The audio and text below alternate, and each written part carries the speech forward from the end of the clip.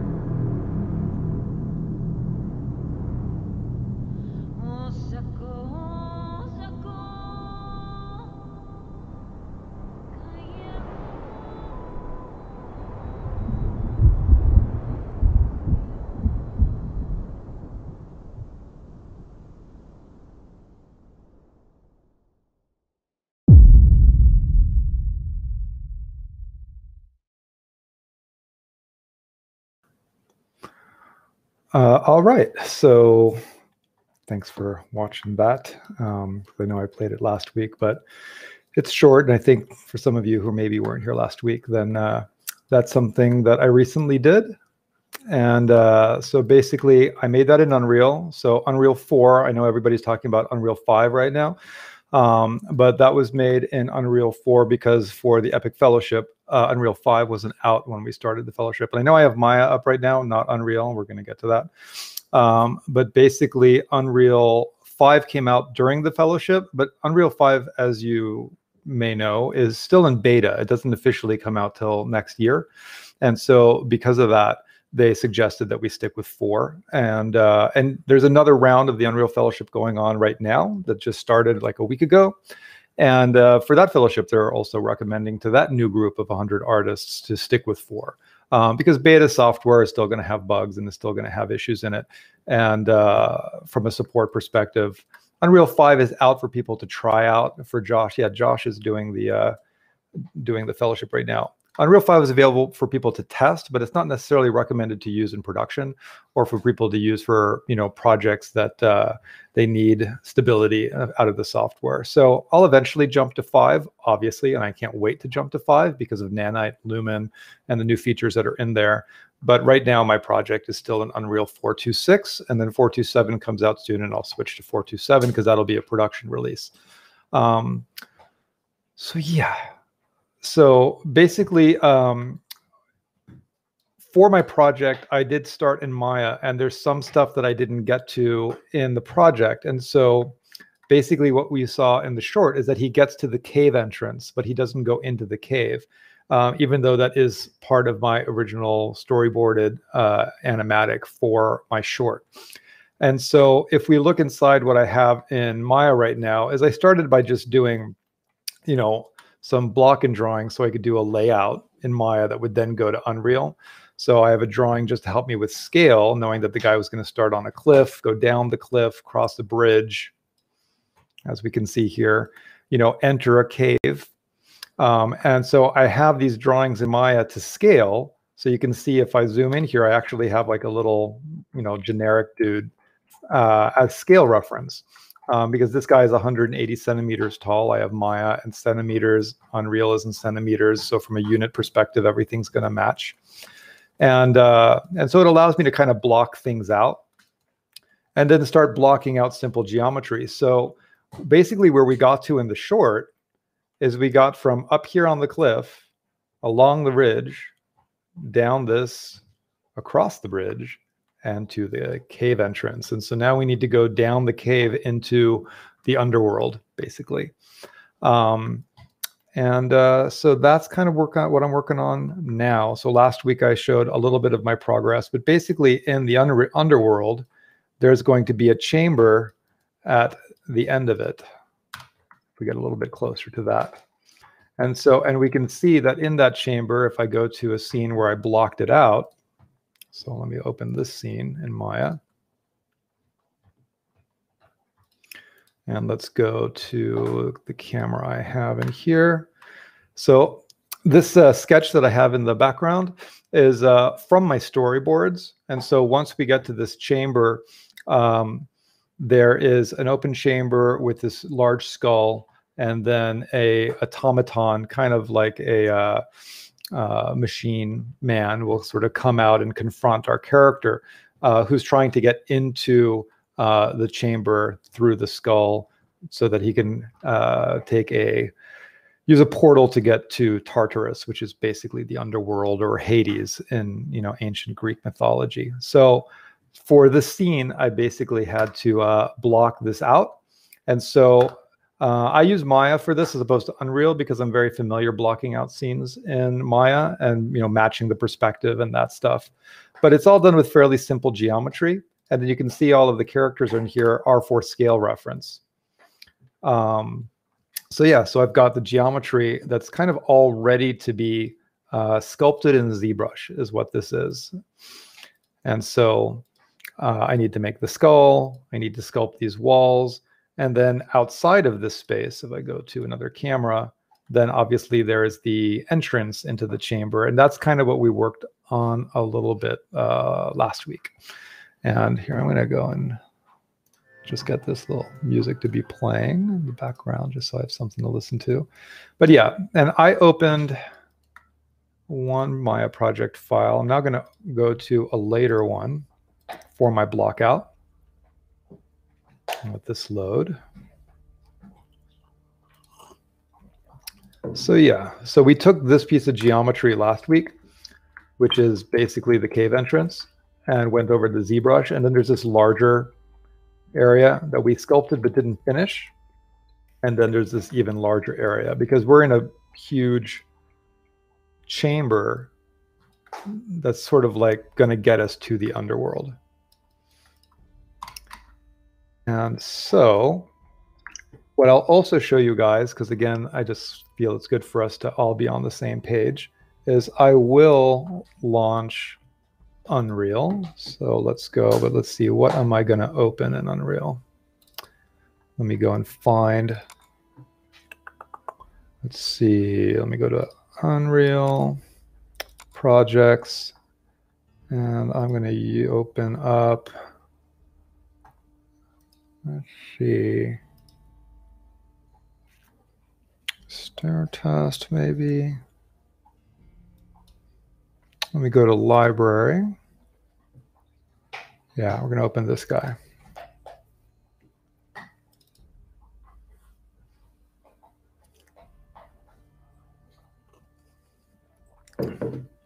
And obviously, if you guys have any questions on stuff, you know, feel free. Um, trying to keep an eye on the comments. And, uh, but ultimately today, it's, I think, going to be some ZBrush, some Mixer, which is uh, from Quixel, from Epic for texturing, which is what I use to texture a bunch of this stuff. That was in the short. All right, so here we go. So now I'm in Unreal.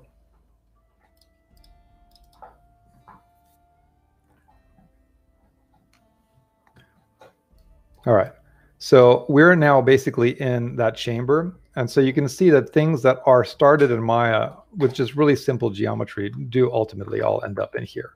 And so if I go and hit play, this is a work in progress, but basically these are the stairs that the guy needs to get down. And then I still need to set dress this whole area. So this is just me still experimenting with how to do the stairs. And then he will traverse across this dark area where I still haven't finalized the lighting or the fog.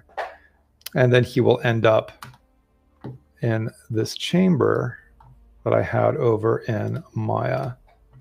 So now I'm going to go to ZBrush. And this is what we did last week. And so I blocked out the uh, entrance. And then after blocking it out, I also blocked out what the cliff wall will be around it, which isn't finished yet. So I still need to work on this a little bit more. And then this stuff needs to be textured. So it's like, you know, uh, simple block out or layout in Maya, and then sculpt in ZBrush, texture in Mixer, and then send that stuff over to Unreal um, for scene assembly. Seems to be the pipeline now. Um, so yeah, so let's go and hide this outer wall. And then what we did with this guy last week is, if I switch over to the high-res sculpt, I don't need to be like super perfect on the sculpt because it's going to be very dark in there. And so the lighting is not going to call too much attention to the sculpt. So I was able to sculpt it fairly quickly and use textures to kind of add all of the detail as opposed to doing high frequency detail in ZBrush. Um, it's kind of a little faster to just do it in Quixel Mixer. Um, Eduardo, does Tartarus have a back, background story? It does. The uh, the character that you saw in the short is basically his the general premise is that the goddess of uh, sorrow, who basically absorbs our pain so that we can forget about our own grief and suffering and move on from things like the death of loved ones. Uh, she um, uh, has basically taken his wife.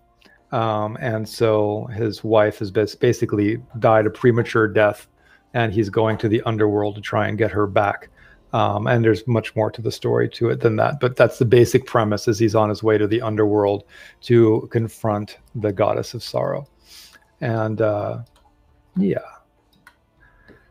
So the premise that they gave us was the word conflict, which is very open ended um, because you can kind of make anything with that. So I really just want to do a journey.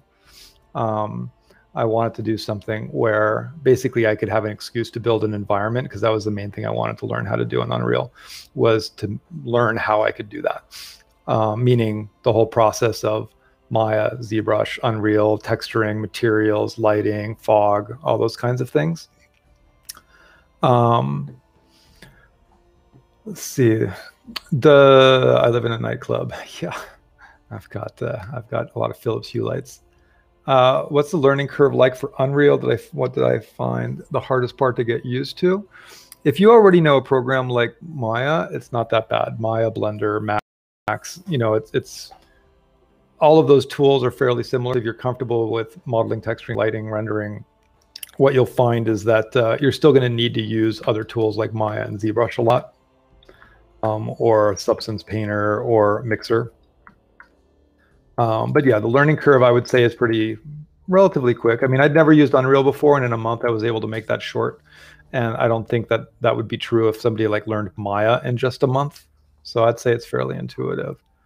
Um, is it difficult to learn all of this? I mean, it depends what you, how you define all of this you know, because ultimately, if you're completely new to 3D, then you just sort of start at one step at a time. Meaning, for example, you might start and just learn ZBrush and learn how to sculpt. And so that's something that I really recommend for younger artists that are new.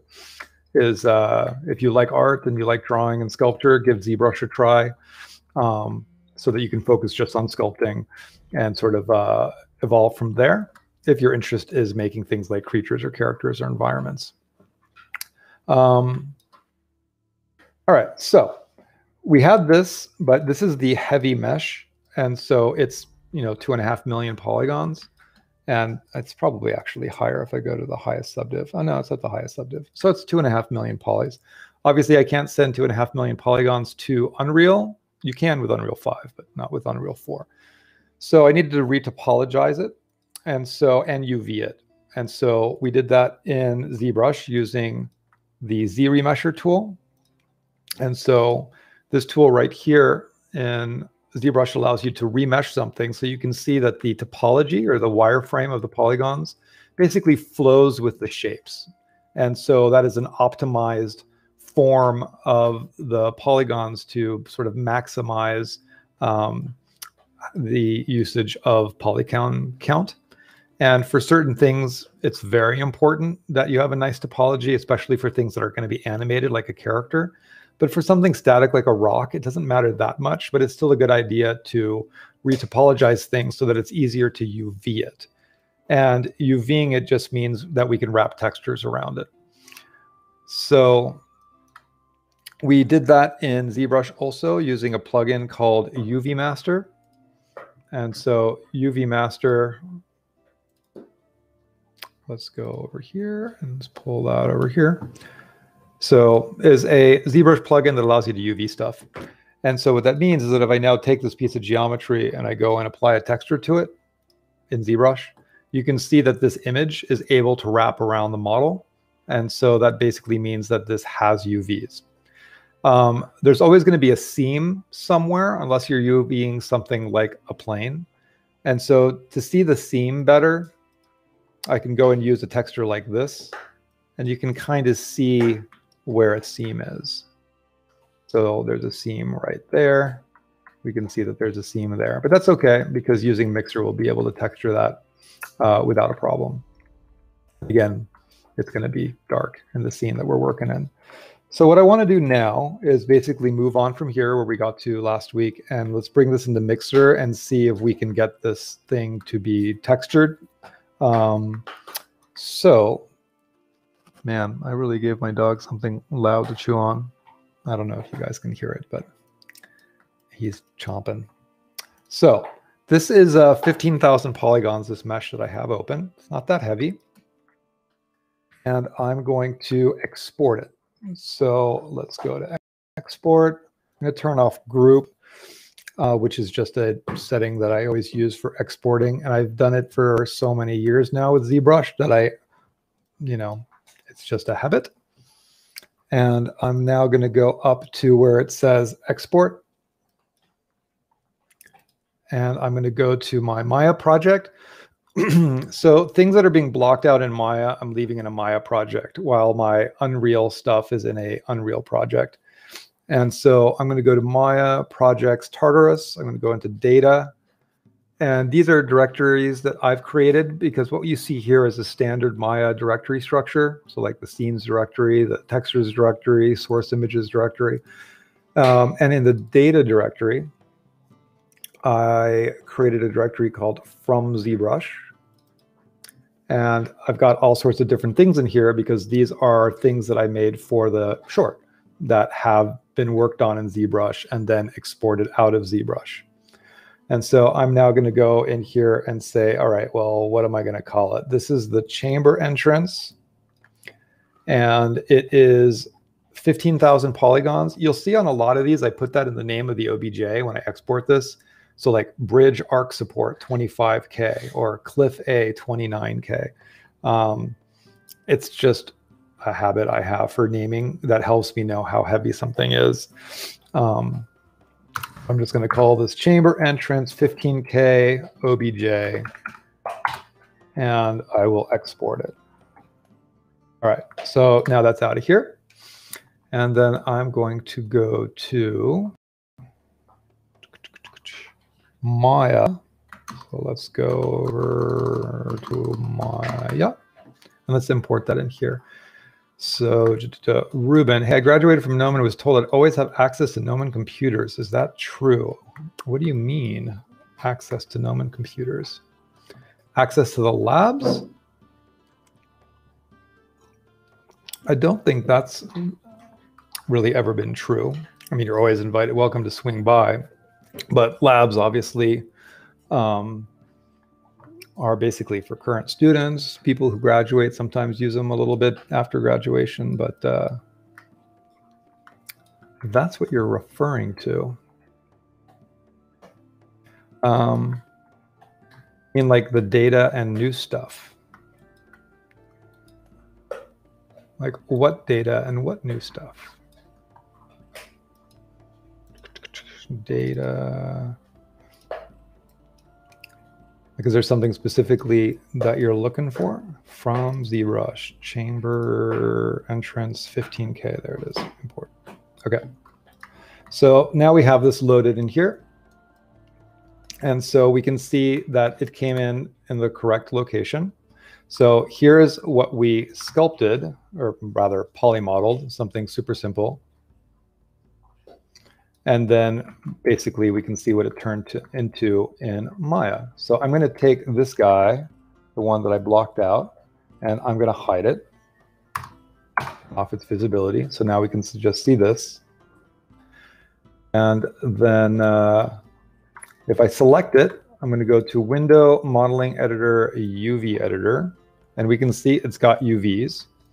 So I could go and adjust the UVs if I wanted to. Like we could see that there's, this isn't like super optimized. There's a lot of empty space in the UV layout. And if you were trying to optimize things, you would try and pack the UVs a little better than this is. But for the perspective of doing uh, what I'm doing, I don't particularly care about the file size of my project or um, having, you know, I have a lot of VRAM on the graphics card I have. And so I'm not too concerned about it. So I could shrink this down a little bit if I was worried about issues with light maps, because if you bake light maps in Unreal, then um, it's recommended to have some space between your UV shells. And this is kind of touching the edges, but I'm not too concerned about that either based on where this is going in my project. So this basically is something that I could use as it is. I am going to smooth it. So I'm going to go to, uh, in Maya, I'm just going to go to soften edge. So now this thing is not faceted anymore. And I'm going to delete history on it. And I don't know if you guys hear this chomping that my dog is doing on the ground right next to me, but it is so loud that I'm going to put my dog outside. So give me one minute and I'm just going to let them be free. Dude, what are you doing? Come on. Come on. Come on. Come on.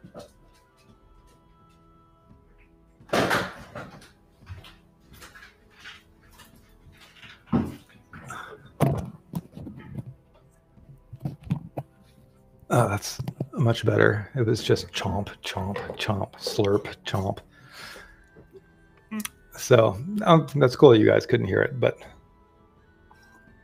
I figured like I'll just give them a snack so that they uh, leave me alone during the stream. Anyway, um, I started with Blender and I have other software to learn. Should I leave 3ds Max for last because it will be faster to learn because of Blender? Uh, well, why do you want to learn 3ds Max would be my first question. Um, if you're looking to get into like, you know, ArchViz, 3ds Max is popular, but if you're looking to get into the entertainment industry, I would recommend that you're good to start with Blender. Might as well. It's free. If you want to end up at a visual effects studio like ILM or Weta, it would make more sense to learn something like Maya than 3ds Max. Um, and then obviously there's um, Unreal if you're wanting to get into games. But even with Unreal, like I was saying, you still need to know something like Maya for modeling and UVs and character rigging. Like there's no character rigging in Unreal um, effects, uh, things like Maya and Houdini. You know, there's there's RFX tool and, and Unreal, but they're not as powerful as what you find in Maya and and Houdini. All right, so I've got this piece of geometry in here. If I zoom out on this project, we can see other examples of things like that. So for example, if I zoom in here, you can see other things that were ZBrushed. So like the entrance to the cave that you saw in the short is all ZBrushed this way and then textured. So that's what we're going to do now is we're going to try and take this thing that we sculpted and bring it into Mixer and see if we have any luck. And what I did a lot on my project is I um, tried to reuse Mixer um, projects that I used for other objects on new objects. So the way I textured the cave entrance, if we're lucky, I can use that as a start point for this. So let's see. Let's export the selection. And so I'm going to export this as an OBJ. Don't need material. And so this is now going to go into the data directory. So this is going to Mixer. And so Quixel Mixer. So I have a folder called to Mixer. And I'm going to call this chamber entrance 15K. All right. And now let's go over to Mixer and see if we can get this thing textured. So, and then ZBrush we can minimize, and I'm going to launch Mixer. So I showed Mixer a little bit last week. And as with Unreal, Mixer is free, same thing as Bridge, because Epic bought Quixel. And so I highly recommend giving a try if you have things to texture. Um, it's really, really cool. And it's fairly small program at the moment. They've been expanding it and adding features, but it's small enough that you can learn it in a weekend, you know, especially if you're comfortable with Photoshop. So what I have, uh, what it opens with when we launch Mixer is it's showing me uh, all of the projects that I've recently made with Mixer and asking if I want to open one of those or make a new project.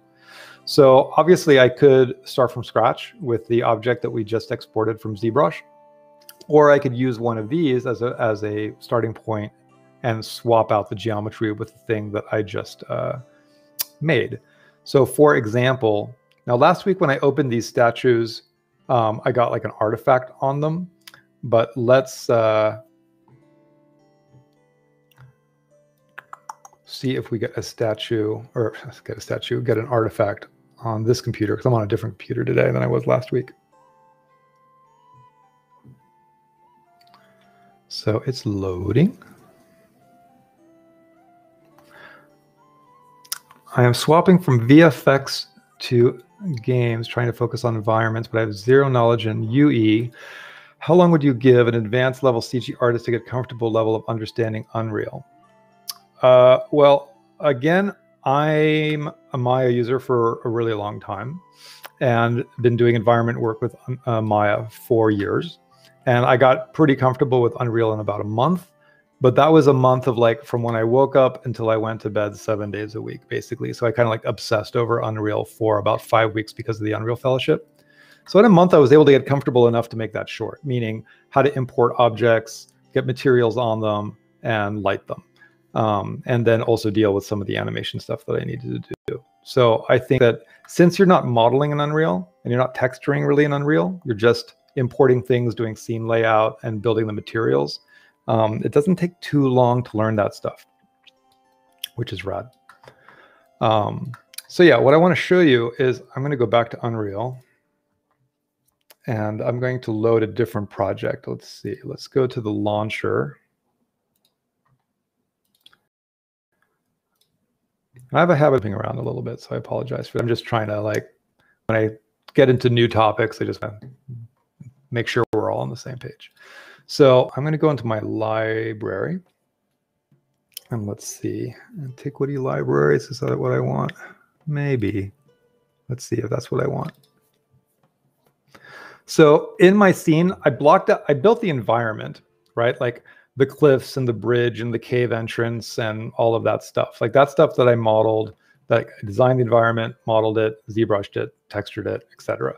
But all the set dressing I didn't have time to do in a month. So I relied heavily on um, Megascans, meaning Bridge and the model libraries that are available in Bridge, which are all free, as well as some stuff that I grabbed from Marketplace.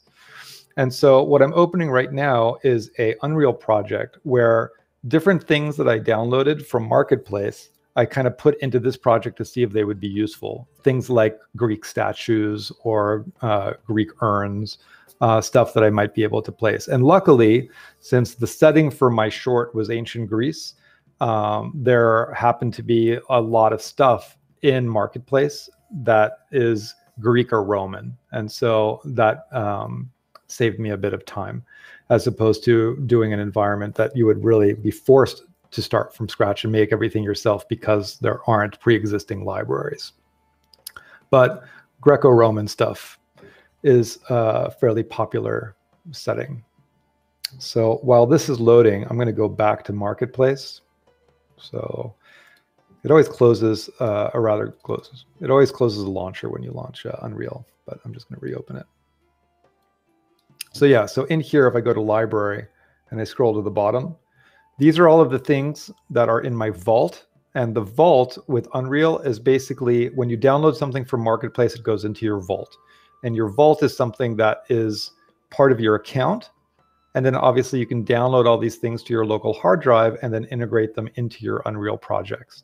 So in just a period of you know the five weeks of the fellowship you can see that i grabbed a bunch of things i didn't use all of them but a lot of these are free and so it was cool to learn unreal by taking things apart which i highly recommend and then some of these things weren't free but still very much worth grabbing just to either use in my project or to uh, deconstruct and uh, learn how to build different types of environments and what we'll see in here is I've got like this one called Ancient Statues, this one called Antiquity 3D, this one called Detailed Greek Statues, uh, this one called Ruins Pack.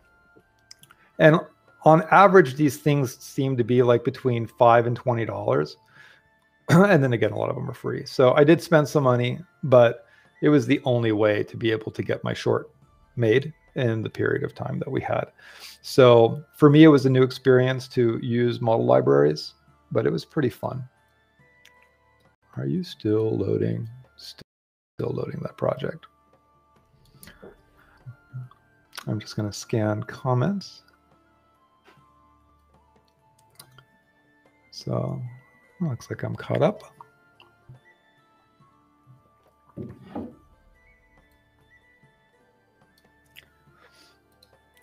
Yeah, sometimes things take a minute load.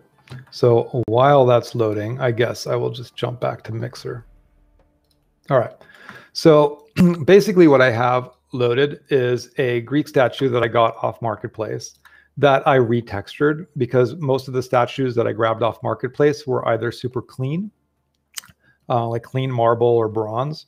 And the texturing is super simple. So if I just turn this off, I'm just grabbing something from Mixer. And so in Mixer, if I go into the online tab and I go and look on the left, there's thousands of surfaces that you can use to texture your own objects, and they're all free. And so basically, you can browse this library uh, and then start layering these together. And so that's what's going on in the viewport. So this is my base that I then layered based on curvature, some dirt into the cracks, and then a little bit more dirt kind of coming in from an angle so it's not hitting the whole thing and then layered based on slope angle some it's a concrete texture just to make it look weathered and if i go and take a look at let's say a different lighting situation and rotate the lights around you know it's fine a lot of the texturing that i did on these things was done in a hurry but the nice thing is once i had this one done if you go into mixer and you go to the setup tab you'll see on the upper right, it says custom model. I'm using my own model and it's specifying the OBJ I'm using. So I can then load in a different OBJ and then this uh, texture set will be applied to that new model that I loaded in. And then I can just make a few tweaks. So if I load in another one, so let's go and grab a different statue.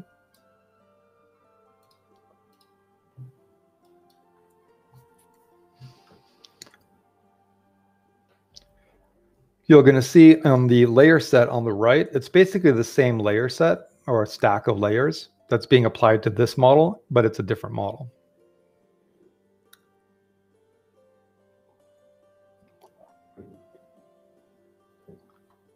Just letting that load. All right. And so here we have this dude. And so you've got a few different lighting scenarios that you can use to preview things.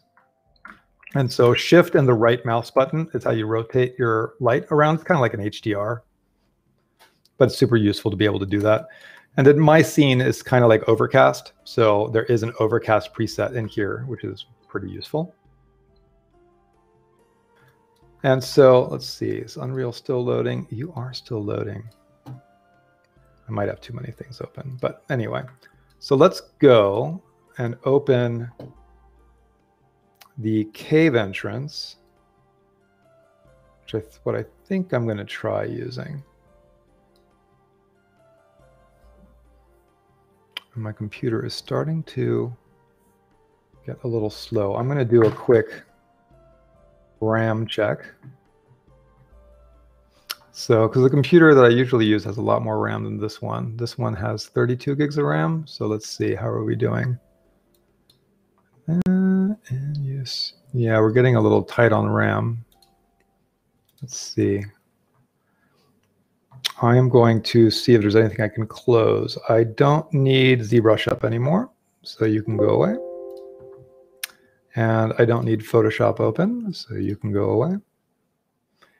So ultimately, you know, the computer that I'm using is an Alienware, and this box is like five years old and it only supports 32 gigs of RAM or else I get more. But uh, the computer at home I, has, I think, like 128 gigs of RAM, something like that. A lot more.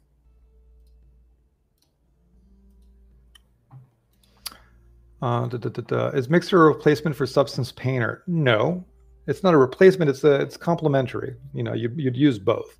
You'd use Mixer for some things, and you would use uh, Painter for others because Mixer really is kind of, you can see here, where we have distinct textures from a library that comes from Epic, that comes from Quixel. And we're using this library uh, to texture, as opposed to Substance Painter, where you have all these painting tools that are not really in um, Mixer. And so, and now we have a freeze, which is awesome. This stuff happens. So control delete task manager. We all deal with this stuff, so it is what it is. Oh, it just woke up. Yeah, basically it's uh, Unreal loading in the background. And so I think the project I loaded, I kind of think I know what's going on.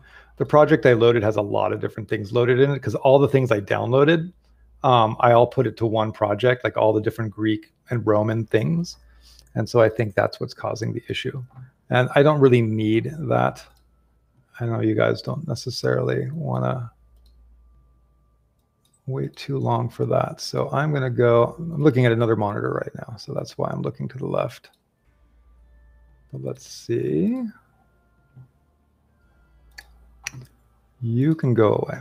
All right. So I'm going to go back to launcher. Sorry about that. But that's the nature of streaming. So you're going to see just things the way they are. All right, let me go into library. Let me load something smaller. So basically, what can I grab as an example? So ancient statues, add to project. That would be fine. I'm going to make a new project. This will launch fast.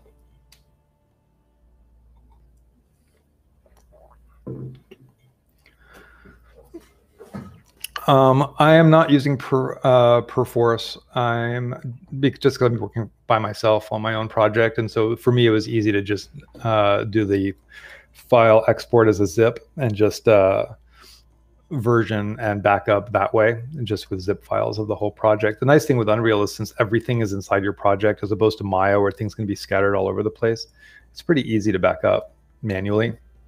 I know if I was working with a team, it would be a whole different thing, but for personal work, it's fine. So I'm going to create a new project. I'm just going to do a third person. And so this is just uh, all default settings for a new project. I'm going to call this, let's just say test, create that project.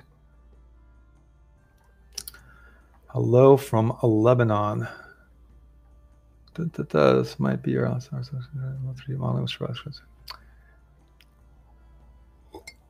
just like Vitaly Bulgarov. Yes, Vitaly is awesome. I think we all are inspired by Vitaly. If any of you are not familiar with Vitaly, I highly recommend looking Vitaly Bulgarov up. He's one of my favorite 3D artists, has been for a while. He's super talented. Now he's made a game called Mortal Shell, which has done really well, which is really cool. Patel is awesome. Um, you're 43, by the way. So, well, I definitely am a strong believer that age doesn't matter as long as you find something that you love to do. We've had students at Gnomon graduate in their 50s. So, all right, let me go back into the launcher.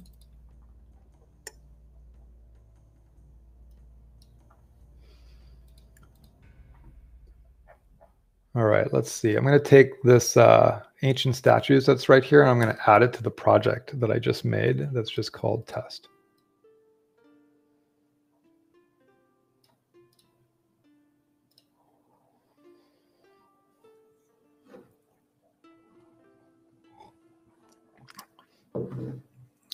Uh, Jackal, if you look at the post, uh, oh, actually, you don't see it because you're on different platforms. Vitaly Bulgarov, and so it's uh, Alex F1 just posted his last name.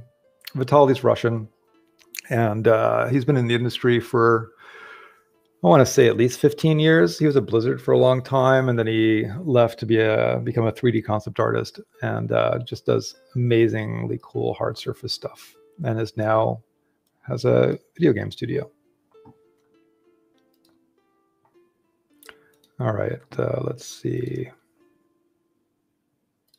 All right, so I just added to project. So in Unreal Speak, if you have something in your vault that you uh, have added to your account, then I can click on under ancient statues, add to project, and I can choose which project is going to add that asset to.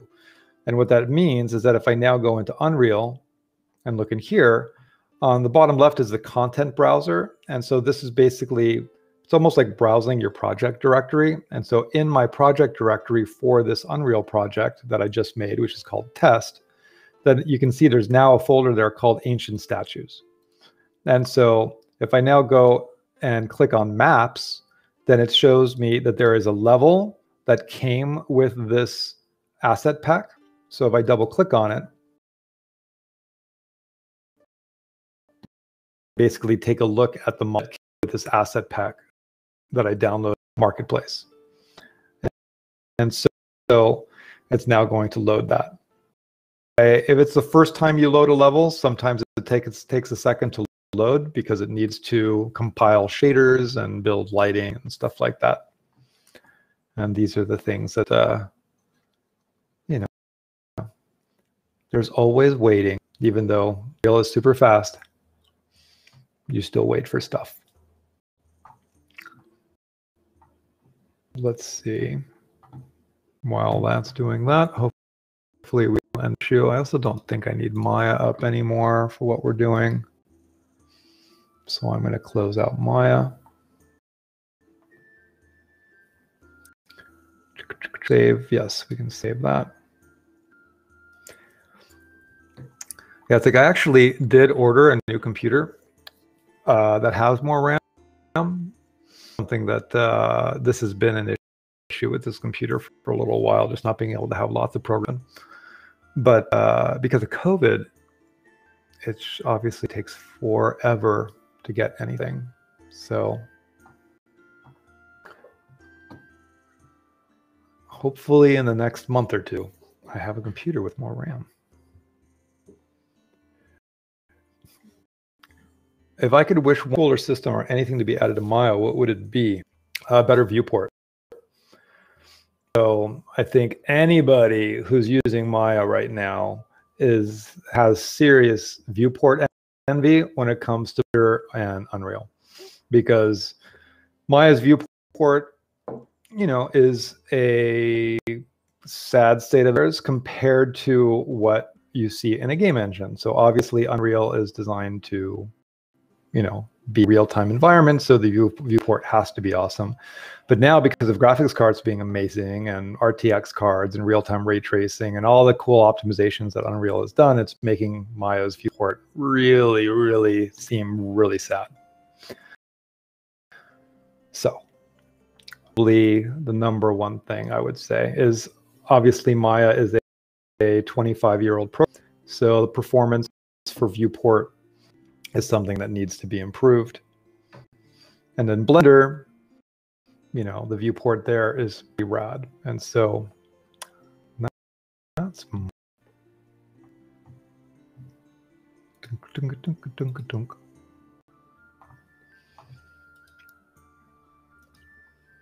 well, I'm sorry, guys, that things are being so slow today. Anybody have any other questions while we wait for this. How close could I get to recreating the final render of something like Dirge and Unreal? That would be pretty easy. So I would say I could get 100% to matching that project. Because ultimately that, you know, it's geometry with fog, uh, an animated character. Here we go. Uh, fairly straightforward stuff and uh, but some of the things that are in Dirge, like the animated locusts, I still might animate those in Maya and bring those over to Unreal. But I think you could actually do that in Unreal without a problem. Um, and the fire that's in Dirge is all on cards, which I could do with EmberGen and put those on cards and bring those into Unreal. All right, so you can see examples of things that I used from Marketplace in here. So a bunch of really cool Greek statues. You can see it's cool that it comes in with three materials. So it's got basically like a clean marble and then something that's meant to be bronze, but is a little green. And then these, which I go into meshes and go into materials. We can see we've got bronze, copper, and marble. And so actually these green ones are meant to be copper but obviously very, very old and very, very weathered because it's completely green as opposed to having any copper look to it at all. But even though these are textured, I still felt like they didn't quite fit my project. And so that's why I wanted to uh, retexture them. And so something like this guy, we see what they look like here. This is the reclining figure. if I go into Mixer and go to open, do I have that guy in here?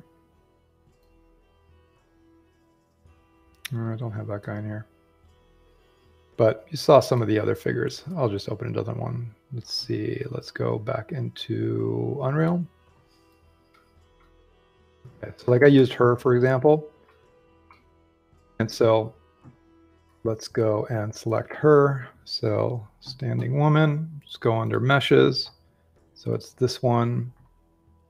So if I go into mixer,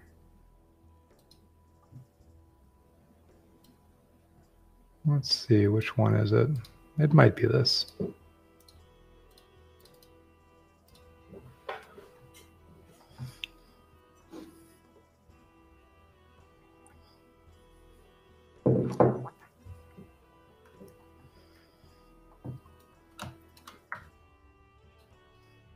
Okay. You can see that ultimately I textured these in just a much more weathered, dark manner. So that's basically the idea, is taking things where the model was fine, but I just wanted to retexture it. So let's go and open the cave entrance.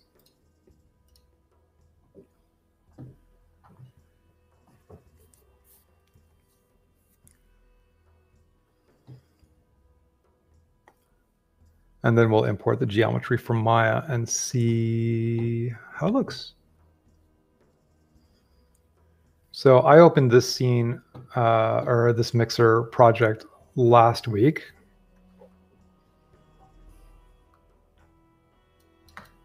All right. So let's see, displacement mapping is off. Cool. So this is the cave entrance. And so it's a few different things layered together. This may or may not work as a start point for the chamber entrance, but we'll give it a try. So I'm going to go to setup. And so where it says custom model is where I'm going to swap it out. So I'm just going to go in here. So Maya, projects, Tartarus, data, to mixer, chamber entrance. Where are you? So there.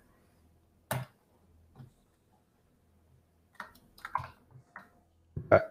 So now this is loaded.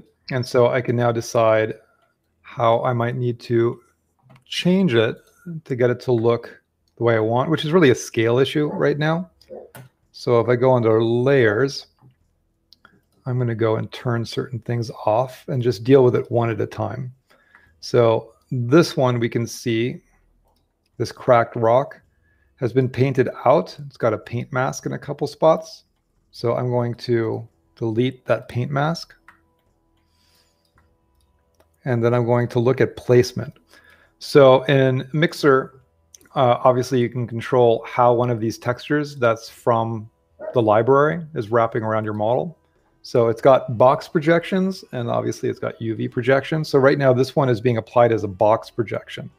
So the nice thing with box projections is that it doesn't matter if you have a lot of seams or UV seams, different shells, because it's going to project across those.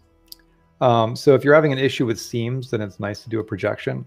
So if I switch it to tiling, now it's only tiling or repeating this texture once. So I can then go and increase the repeats on this texture to whatever I want. And even though I know that there's seams on this thing, it's something that I'm maybe not too concerned about. And I'm going to go and play with the lighting in here. So for these materials that are coming from uh, Quixel Bridge, they all have normal maps. If you look in the lower right corner, and I know that my camera is in there, so maybe I can go and hide my camera for a second. Let's see, where's that? Tink, tink, tink, tink. Well, here we go.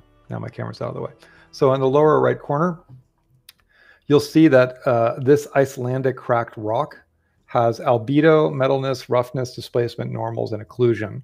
So there's six different maps that are all 4K that are building this material called Icelandic cracked rock, which comes from this library, which is going to be one of these. It's this one right here, Icelandic cracked rock. So you have a little preview of it. And so if I look at it on my mesh, then that's where I can go in and adjust the tiling. So what we were seeing before was a projection on the model, which was just being repeated a little bit too much. Maybe, maybe not, depending what you're using it for.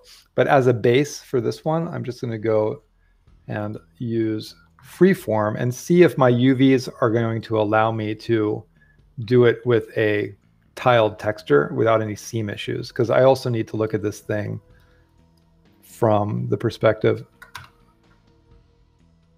of the little tunnel that's inside it as well. And here we can also see the issue of the seam. So you see this right here is where I have a UV seam. And so then the question is, do I care? Because since this is sort of like the bottom of this little tunnel, um, that probably is going to get covered with rocks and set dressing. And so that means I'm not going to be concerned with that. And so here, let me just go and get this to be bigger again. Um, but if I switched over to a box projection, then you can see the seam goes away because it's projecting the texture basically from like X, Y, and Z and blending them based on normals. And so now you don't see any seams at all. Um, I've found with Mixer that the texture looks a little sharper with tiling as opposed to with the box projection. So I tend to try and tile it if I don't uh, if I can get away with it. So I think I can get away with it here. Um, there's another spot where we can see, yeah, my navigation's a little funny in Mixer just because of the scale of my objects and where it's located in Maya and where it got imported from. That's just a funny issue with the way Mixer handles tumbling and rotating. But you can see the seam right there. I'm not worried about that either because I'm not going to see this in my final scene. It's going to have other stuff on top of it because this is not the ground plane there's another ground plane in the scene. And that ground plane will intersect with this cliff wall along this edge. And then I will hide the intersection point with set dressing. So I'm not concerned about that little seam either. So really it's a matter of looking this and being like, okay, well, does this make my little cliff wall look rocky? So this is what we're starting with. So I'm going to go and turn that on and then figure out how many repeats I want. So I set it to four and four. I won't know for sure if that's what I want until I get some of the other layers on top, but it's definitely better than what it was at before. Maybe I'll just try and play with this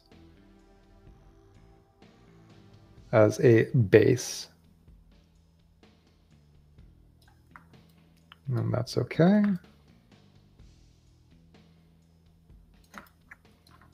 All right, so the next layer that I have it here that I'm going to turn on is Icelandic raw, rough rock. So I'm going to turn that on. And this one is also set to be a box projection. And this one doesn't have any masks on it at the moment. And so since it doesn't have any masks, an interesting thing with Mixer is that it again again gets to looking at the way it blends layers based on what's underneath them. So when you only have a single layer at the bottom, you're going to see its albedo, metalness, roughness, displacement, normal, occlusion uh, as they are on the mesh. But once you layer stuff on top, you intuitively might think that it would be 100% opaque and hide whatever is on the bottom underneath it. But that's not what it's going to do necessarily by default because uh, in the upper right corner, you can see we have blending and you can see that it's opacity masked and the opacity is one. So if I lower the opacity on this layer down, you can see, okay, well, that makes sense. It's the opacity of this rough rock on top of the cracked rock for my cliff. Fair enough. But if I put that to one, we're still seeing something of the cracked rock underneath. Because if I go in here and hide that, you can see the mesh is smooth. But this Icelandic cracked rock has a normal map associated with it that's causing it to react to lighting, right? You can see it, it looks like a bump map, normal map. So when I go and add this back, and I get this to be visible, hopefully you can tell that the sort of cracks and the rockiness of the normal map on this base is still there when I bring this other layer on top. And that's basically because in here, you'll see it's got a slider called preserve details. And so if I play with that, then you can basically start to play with how it's, you know, uh, or sorry, not preserve details, wrap to underlying. So if I adjust that slider to zero, it's no longer showing the layer that's underneath it at all. But if you raise that up to one, wrap to underlying, it's basically taking the normal map from this layer and adding it to the normal map from the layer underneath, which is cool. So basically you can get the detail from both of them. Hopefully that made some sense. Um, so now I have something that's basically changing the color of the whole thing, but using the detail of both. And so for this one, right now it's set to a box projection. I still need to think about the scale. So for this, there is a scale slider on this one. And so I'm going to go and play with the scale and see what I want. So I don't want the scale to be too small. You're going to start to see a repeating pattern. And also, this thing is supposed to be fairly large. So I'm just going to adjust scale on this. Let me try, let's see, different lighting.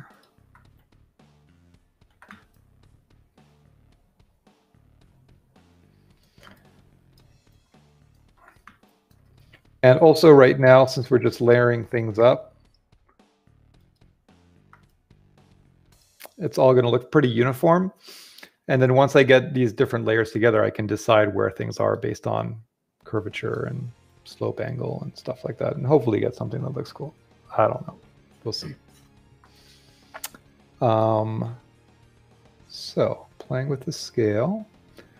All right, now I'm going to go up to the next one, which is rock cliff layered. Okay, so this one has a mask on it as well. This is also a paint mask. I'm going to delete that mask. So a paint mask is something that is literally like a layer mask in Photoshop.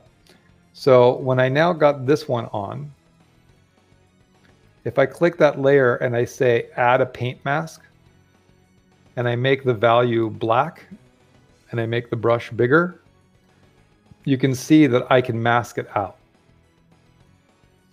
And so meaning that now this layer called uh, rock cliff layered, you can see where it's going and where it's not going. So I can mask it out with a paintbrush and where I want. But for now, I'm just going to leave it everywhere. All right. So let's see. This guy.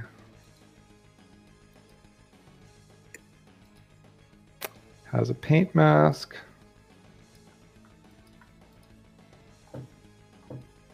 And I'm going to play with its scale as well.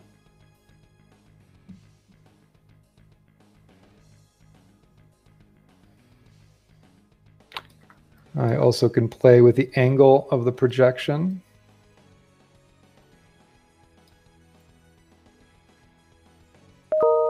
So if I want it to have like a sedimentary look to it, I might want to rotate it a little bit. And adjust the scale a little bit more.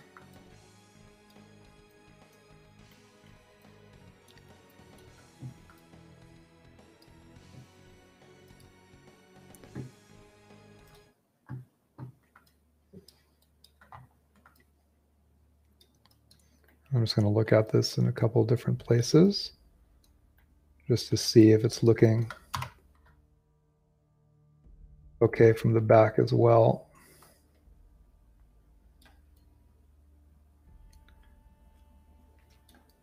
And again, while I'm doing this, I'm trying to evaluate if I like it. Uh, I am thinking about the fact that it's very dark in my environment. So how brightly lit this is right now is not how bright it is in my scene. Um, another thing I should point out is texture resolution. So this is under my setup. I have my texture resolution set to 4K. So what we're seeing in viewport is a 4K texture. I can always export 8K, um, which may end up being what I need.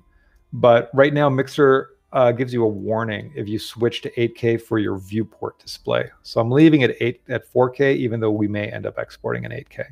But it's kind of looking all right on the wall on this and here. So, so this texture that I have on this layer, you know, I may not use over the entire rock face. I may just use it for the tunnel because it's actually working pretty well in the tunnel. So really, I'm just like for each one of these layers, making sure that the uh, angle is correct, the rotation is correct, the scale is correct for what I want, and then I can decide where where they where they are. So now I'm going to go to this next one. Let me go and make this a little bigger. So this next one is Icelandic rocky ground.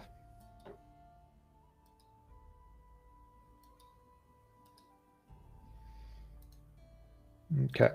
Now this one has not a paint mask, but a mask stack. So let's hide that and get that back on. And what that means is that this one, let's get a little closer to the cliff wall inside here, isn't going everywhere. So if we go back a little bit, our first layer goes everywhere. It's a base, and so it's uh, has full coverage over the geometry. And then this one has full coverage over the geometry as well, but it's adding color as well as detail information into the normal map.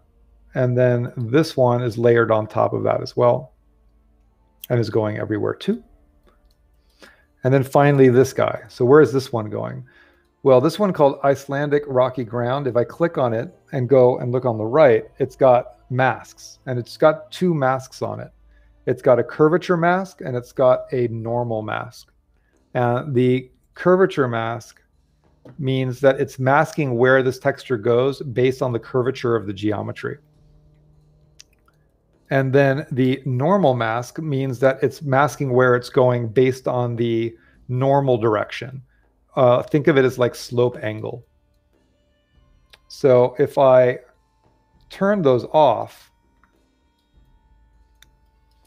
so that it doesn't have any masks at all, then this uh, material is being layered on top everywhere. And so I'll start like that, where, okay, it's everywhere. What is this Icelandic rocky ground? Well, if we get close to it, you can see it's kind of like a dark gravel, basically, if I get super close to it. So it's kind of like dark dirt.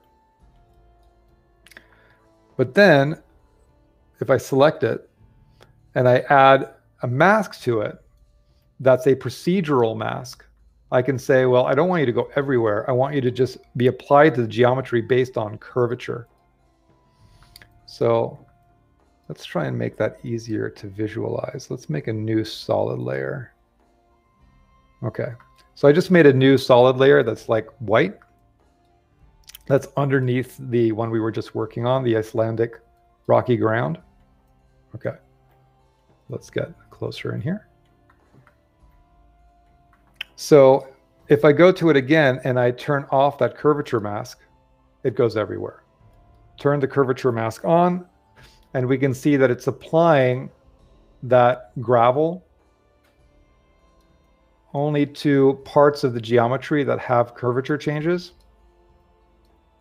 And you can apply uh, or you can tweak tightness and levels for how it's doing that. So I'm going to go in here and look and decide, okay, well, how do I want that to be applied based on, let's say, the tightness of the curvature. So I can have it really just be like a really tight cavity map kind of thing, like you'd see in, uh, let's say, ZBrush. Or I can lower that tightness down so that it's a little bit more broad. And then I'm going to turn that off. Now it's everywhere. And then the other mask that I have in here is called normal. So I'm going to turn that on. And what that is doing is applying it based on kind of like the slope angle. So you can see that this is only going, it's not going on the parts of the surface that are pointing up. So it's like the opposite of a snow mask, right? Like a snow mask would apply snow on top of things, or like dust would be on top of things. And so that's based on this mask right here. So I could go and adjust it based on this normal attribute. So it's got this angle slider, angle and tilt. So right now the angle is 90 and the tilt is zero. So if I rotate that, or rather, let's switch it from above to below. And just sort of play with these guys. We can start to adjust where this mask is being applied.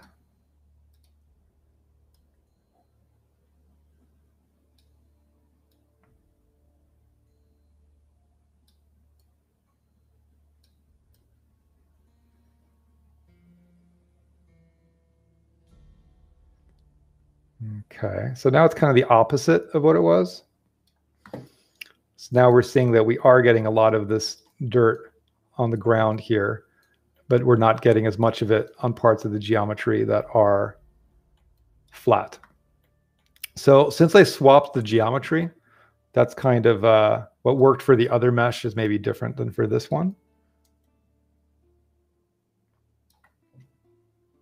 So it's just a matter of deciding which I like, which one I like better for this. And that's kind of subjective, so that's why I'm just kind of thinking while I look at it.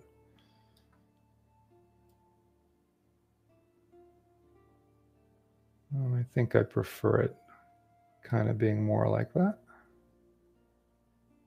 And we'll tweak it more once we get everything together. Also going to take a look on the other side.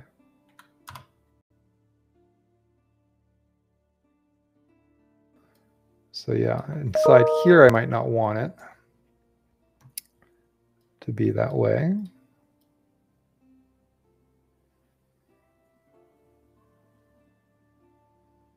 So I'm just experimenting.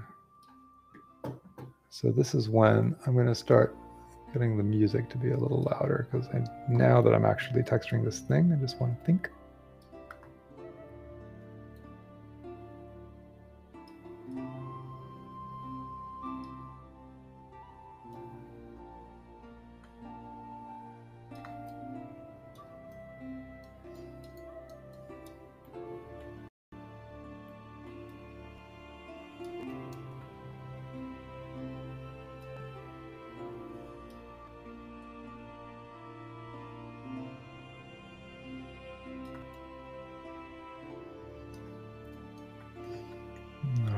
So I'm going to hide that solid.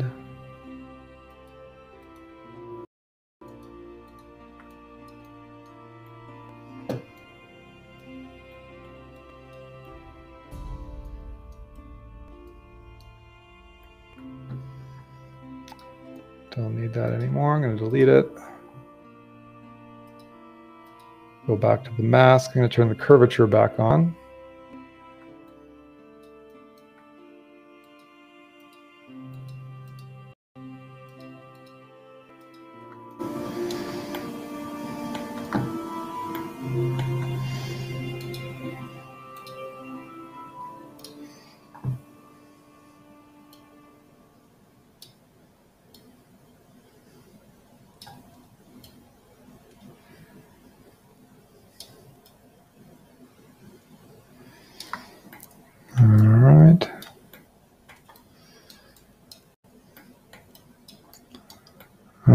Next one in here, this one I don't know if I'm going to use.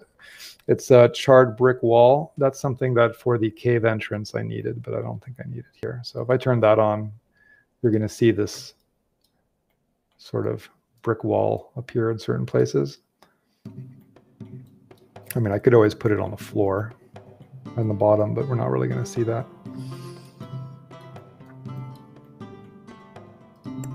Let me see.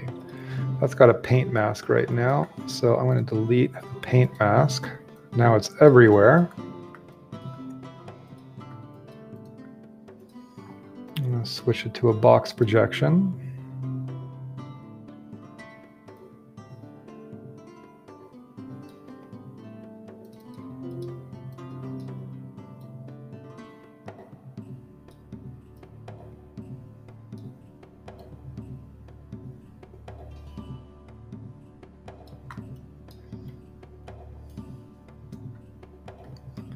And then let's see.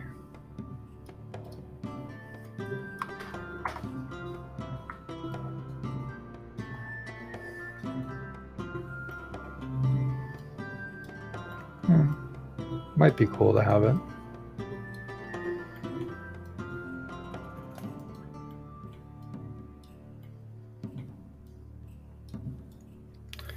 So again, this I needed to switch to a box projection just because uh, the UVs are a little crooked. And so for something like bricks, it looked a little funny.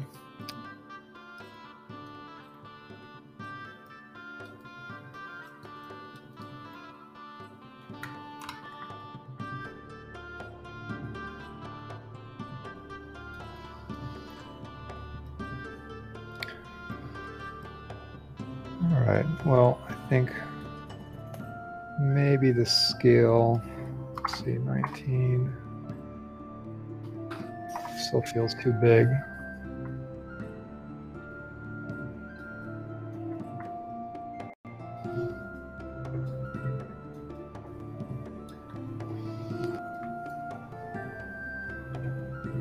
I'm just tweaking the lighting.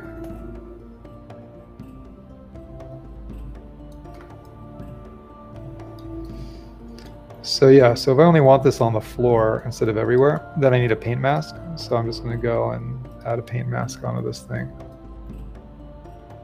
Set the value to be black. And then I'm just painting out where I don't want these bricks.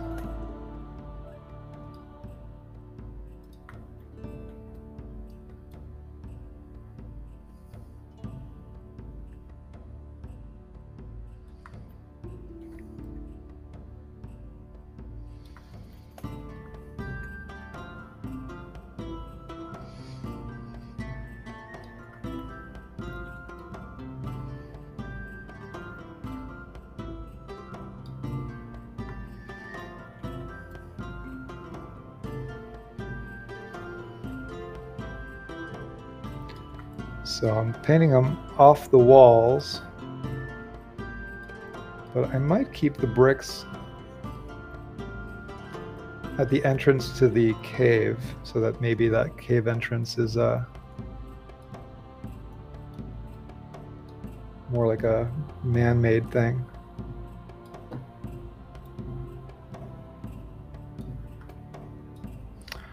Switching to mask view is a little easier in case you want to have it on the ground. Mask view meaning switching this to just seeing my active mask.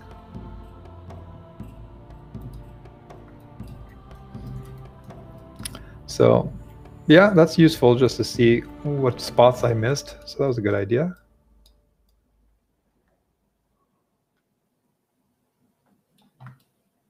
Thank you for that.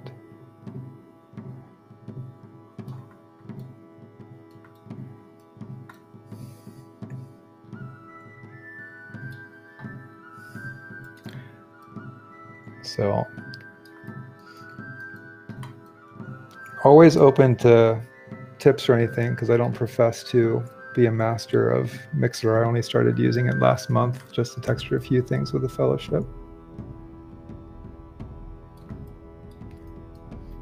But what's nice about it is that I was able to just like, I need to texture something quickly and install Mixer and fairly quickly be texturing things and feel okay about it.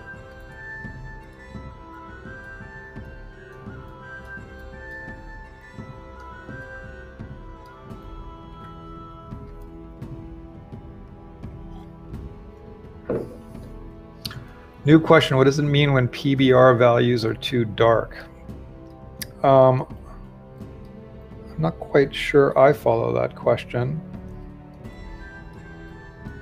Um, I mean, ultimately, the texturing I've been doing so far with Mixer is using the Megascans materials, which are all supposedly following a PBR workflow, where things like the albedo need to be a certain, you know, brightness relative to what is expected. And so based on the rendering engines you're using, is it PBR, is it linear color space, etc., might determine how you set things like a translucency map or how you set something like a albedo. But what I found is things are so WYSIWYG now, like what you see is what you get, that what you're texturing in Mixer is that as long as what it looks like in viewport is what you want, you should be safe. As opposed to using, let's say, because if I'm texturing in Mixer with the intent of going to Unreal, where it's all viewport and GPU based, that's different than texturing in Mari, where your final render might be with Arnold. So what you see in Mari, you have to be make sure it's going to look correct for what it looks like in your final renderer.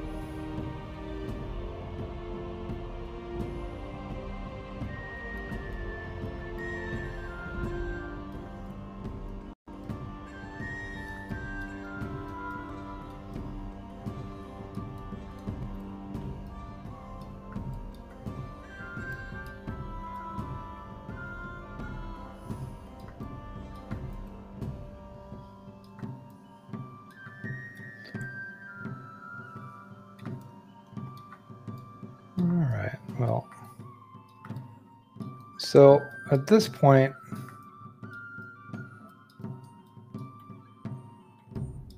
I've got basically these five things kind of blocked out.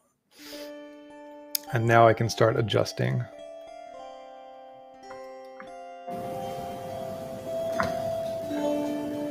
Where things go. So I'm going to turn everything off again.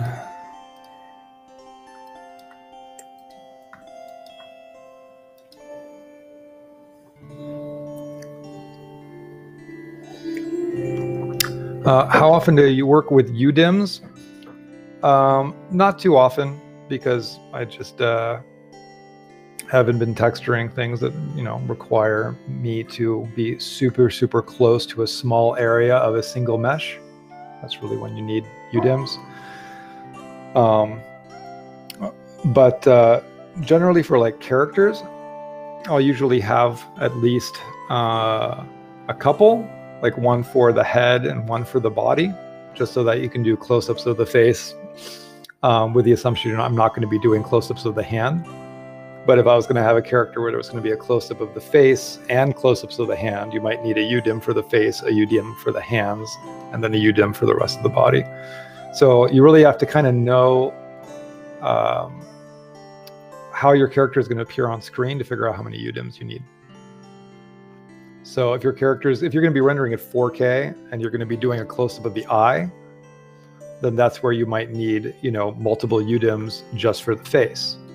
So, um, but for the stuff I do, which is like personal work and making like illustrations and stills, um, I find that it's a lot easier to just have a super high res texture, like a 16K map on something, um, as opposed to having UDIMs and a bunch of 4K.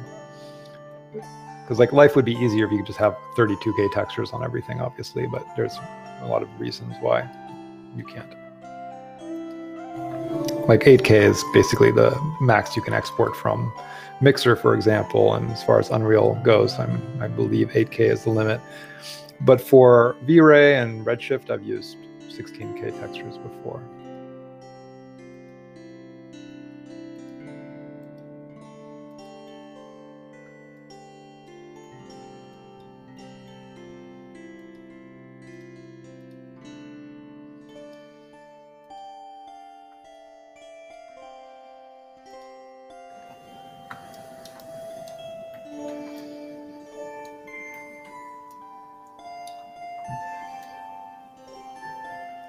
Uh, Kyle, I just saw your comment. Um, yeah, this is just a single zero to one UV region, so there's there aren't multiple UDIMs on this.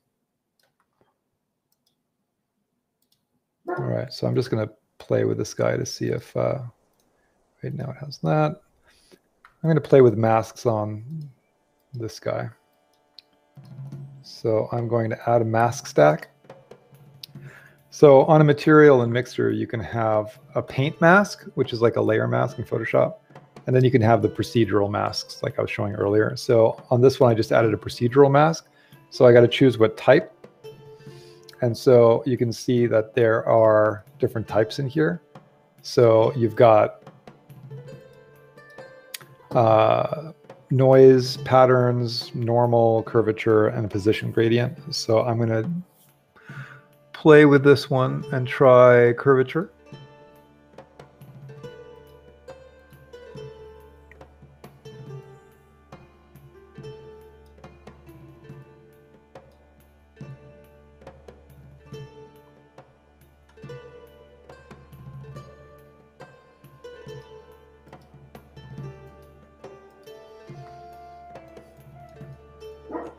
So I can see what this is doing now. So before I added the mask, this uh, layer is everywhere. And by adding this mask, I'm limiting where it is. And by limiting where it is, I'm just trying to create some variation across the cliff face so the whole thing doesn't look the same.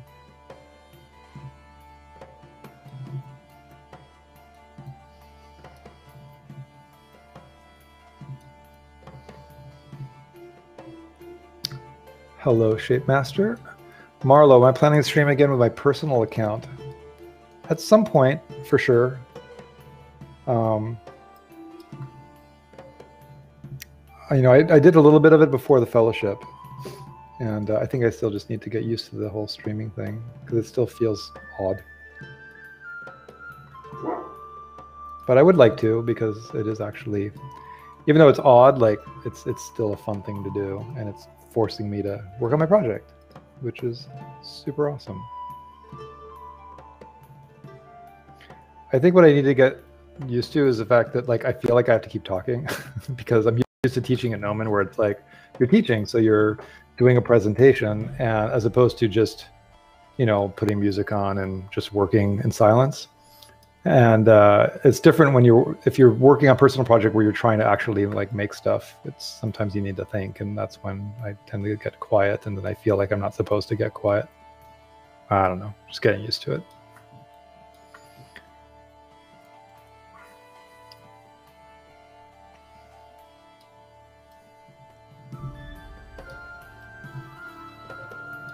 Play with different curvatures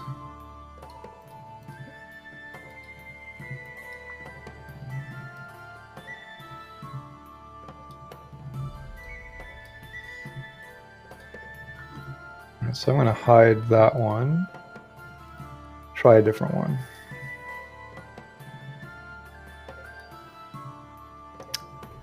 Uh, thank you.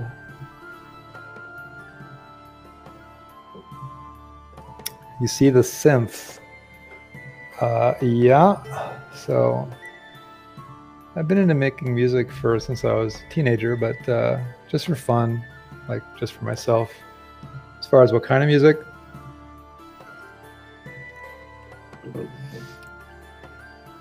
Um,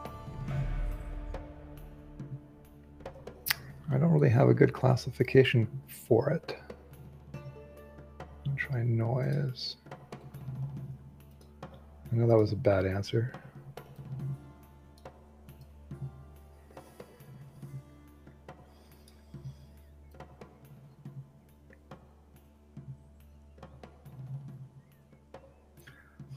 I would say more like ambient on the with the synth and guitar stuff.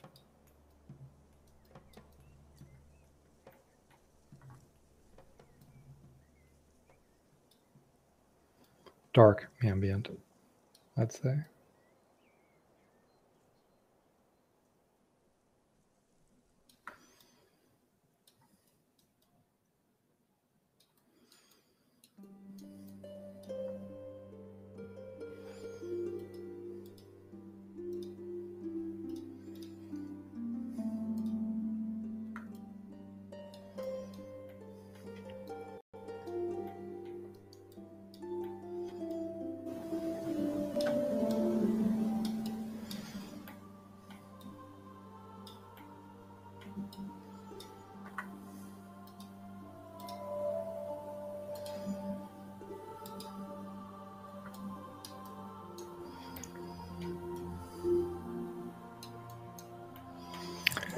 Texturing an object just in Photoshop.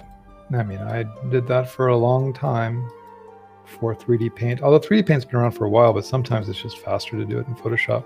These days, obviously, with things like Mixer, it's just so much more fun to do it in 3D.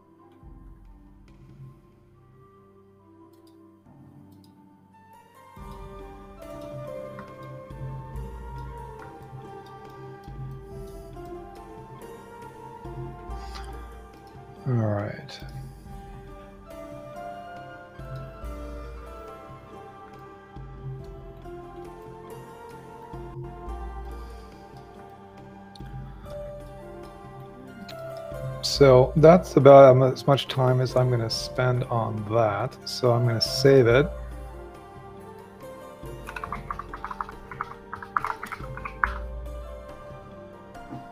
So chamber entrance, save. lower that out because there's no reason for me to spend more time texturing it because you know we've spent probably like an hour on it or 45 minutes and really at this point i just need to get it into the scene and see uh, based on the lighting uh, if it would need to be adjusted. And so that's why this is kind of like a fine start point. And then you know if ultimately in the scene is going to be very very dark there's going to be a glow coming from the cave entrance. And so with like the fog glow that's in this area and a pitch black scene that's lit kind of by moonlight, really it's the high frequency details that we are concerned with. And so if I kind of look make it look like this by rotating the light around, that's kind of what I'm more interested in. And so, you know, as opposed to what it looks like when front lit. So when this thing is front lit, is where you know there may be issues in wanting to retexture this thing, but or spend more time on it. But when it's side lit, as long as it looks like it's got a bunch of high frequency detail that makes it look like it's a big rocky thing, then I think it's kind of fine. We're probably going to be focused on the character anyway. So I've got this thing basically sculpted and textured and I saved it. So now I can export these textures. So to export the textures, um, another thing is I'm not using uh, displacement maps inside here, uh, meaning that uh, Quixel Mixer can create displacement maps for you. Uh, and there's a button here that says preview displacement. And uh, so that's with it on or off. It's pretty subtle as far as what it's doing on the mesh right now anyway, but I have it off. Um, if I was going to be rendering with like V-Ray or Redshift and Maya, then I'd probably be using the displacements. But for Unreal, um, again, I'm still learning Unreal, so I get a little worried about not wanting to have textures that are too high res or use displacement maps on everything like I would in Maya. Um, and so I kind of try to not use it and then decide later if I need it. And that's kind of what I did in my project. Like no displacement maps until there was something that was so close to camera where I was like, ah, I think that actually needs a displacement map to look better.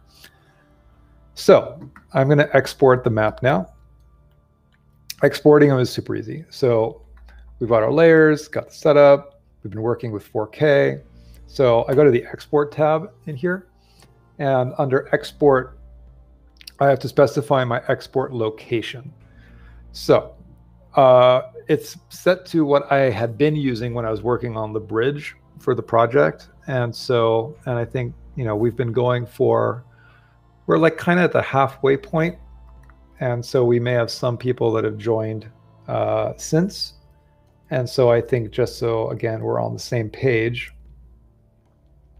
what I'm going to do is uh, let me just grab my the animation real quick.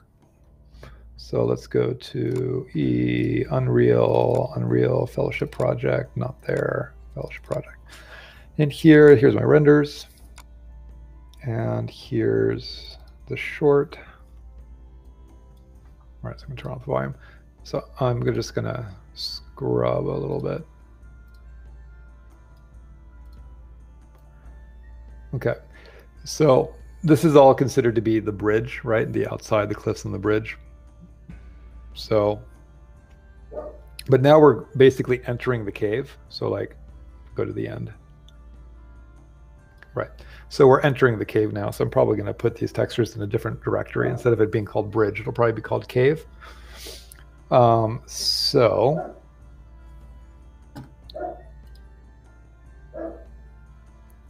So let's see.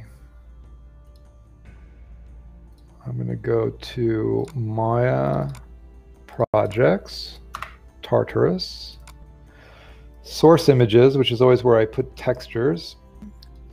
So I already have a folder in here called cave because I already worked on those stairs. So that's where I want the textures for this thing to go. So my Maya project, Tartarus, source images cave, and then the textures from Mixer are going to go into that directory. And then once I load them into Unreal, then Unreal is going to move them into my project directory.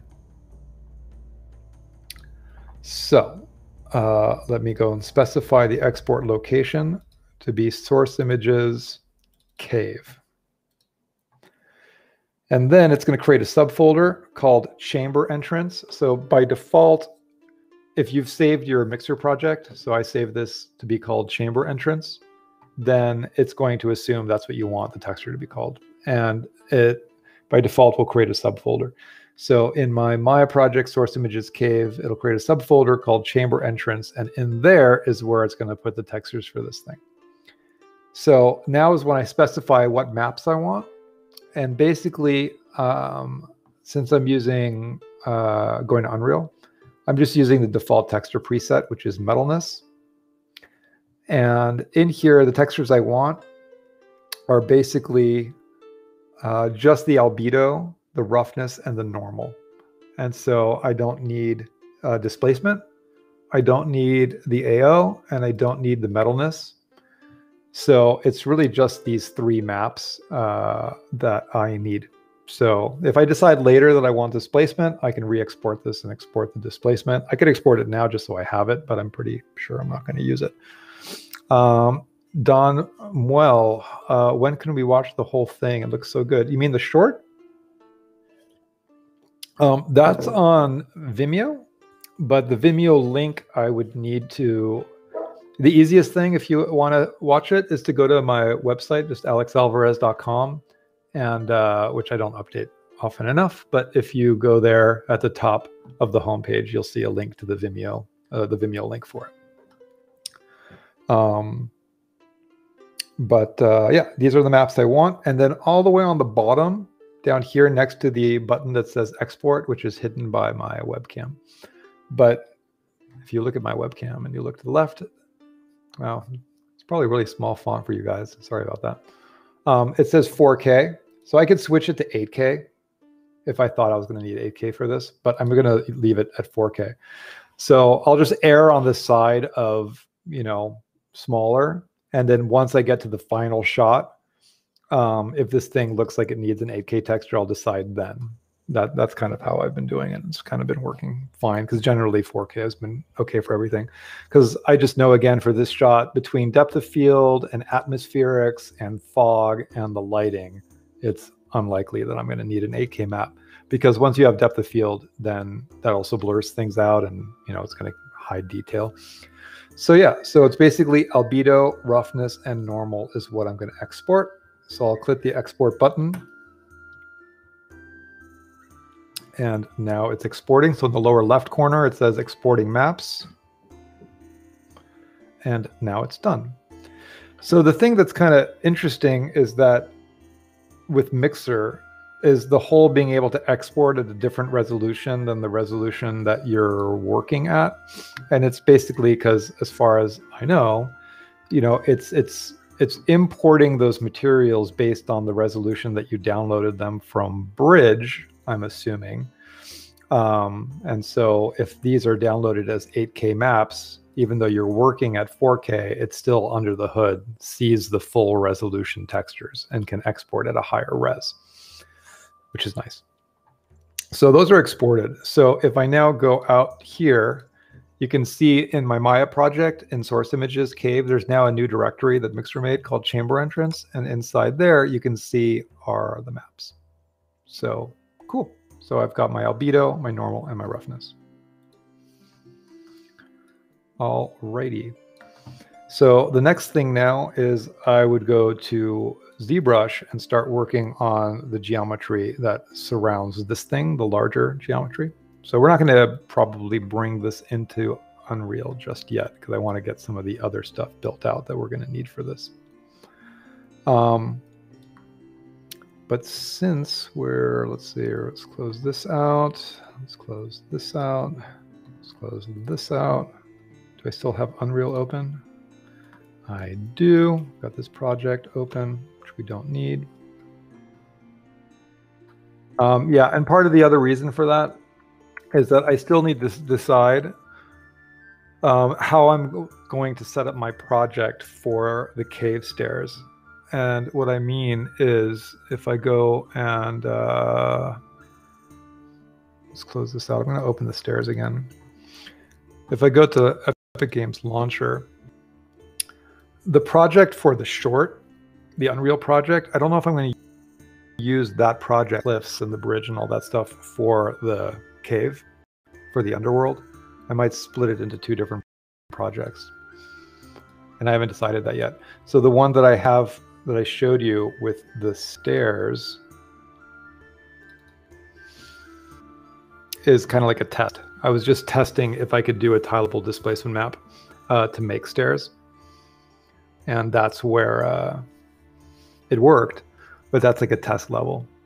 So I think what I really need to do between now and the next stream is figure out the actual project structure I'm going to use for uh, the inside of the cave. Well, let's go stair test.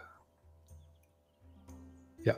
So again, this is like a test level basically. So if I go and hit F11, well, let's hit play and hit F11 just to make it full screen. So yeah, so this was just more of like a test. So for next week, what I need to do is basically get this into the actual Unreal project I'm going to use, and then we can start importing the stuff that we're making in ZBrush and texturing with Mixer, because it would be all the way down here, because this guy needs to travel across this whole divide. And you see how there, there's that glow on the horizon that we're approaching? That's going to be the cave entrance.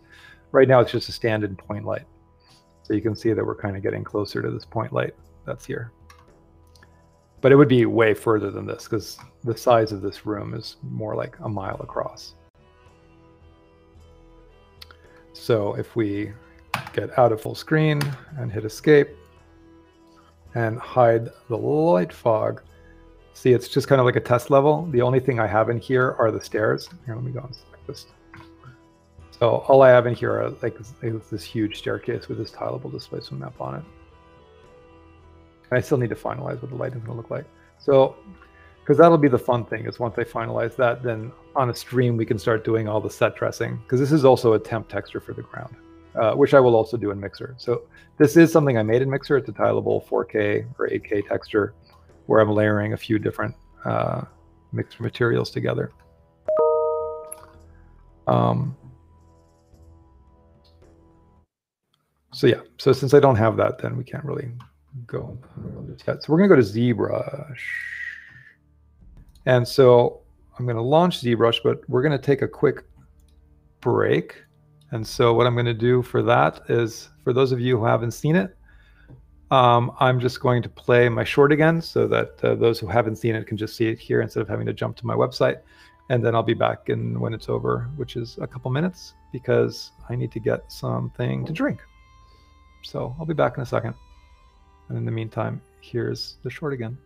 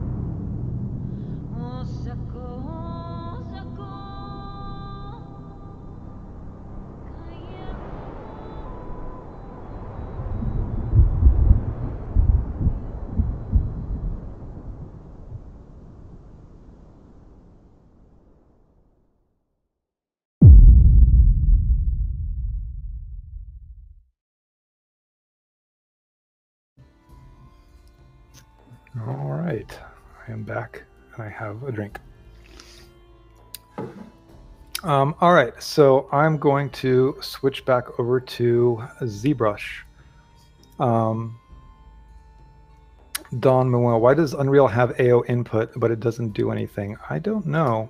Uh, the material that I've been using is uh, the Megascan material, even for like the Megascan master material. So when you downloaded something from Bridge, the material that it uses for those imports, and that's what I'm using for my own stuff. And it's not using AO either.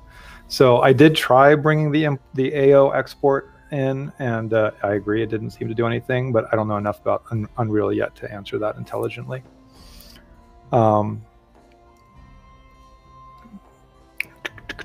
uh, thank you. All right. So what are we going to do? I am in ZBrush, so we're going to sculpt the uh, region of cliff that's around that entrance. So I just noticed, though, in ZBrush that uh, I don't have my alphas loaded. So if you, I just launched ZBrush 2021, and uh, yeah, we're talking about the material input in uh, Unreal. So in Lightbox, if I go to Alpha, you'll see that I've got some directories that I've added to my alpha directory and the ZBrush install directory, which has a bunch of alphas that I've made. And I can load these in one at a time. But what I want to do is get them, get some of them just preloaded uh, into the alpha palette inside here, just so I don't have to load them in one at a time. So the easy way to do that is again, if we look at the alpha palette, these are the default alphas that ZBrush has when you launch it. And so I'm just going to add to here. And so basically I just can close ZBrush. And so I'm looking at the install directory for ZBrush. So if I go to ZBrush 2021 in here, and I go to the Z alphas folder, you can see all these directories that I added, right? So these are like my alphas that I use for different stuff that I've made. Um, I've made all of these are ones I've made. I think this one called Terra is one that I got online a while ago, but I don't really use. But I've got a bunch of other ones. So anyway, they're in the alphas uh, directory. I want to move something to the Z startup. So if I go to program files, Pixologic, and I go to 2020, where I already did this, if I go into Z startup alphas, this is going to be things that are going to, at startup, load into the uh, alpha palette. It's going to take a RAM, so if you're not going to use them, you don't want to keep them in here. But for now, I'm just going to grab all these alphas and use them. And these are alphas that I made myself by doing uh, depth grabs off of geometry, off of photogrammetry assets.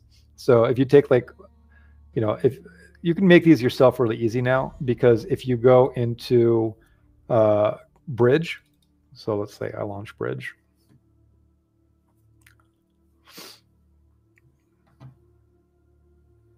Oh, it's already loaded. So if you go into Bridge, uh, inside here and you grab, if, and you look at any of these meshes, um, and you can see this new one looks kind of cool. Let's see what this is.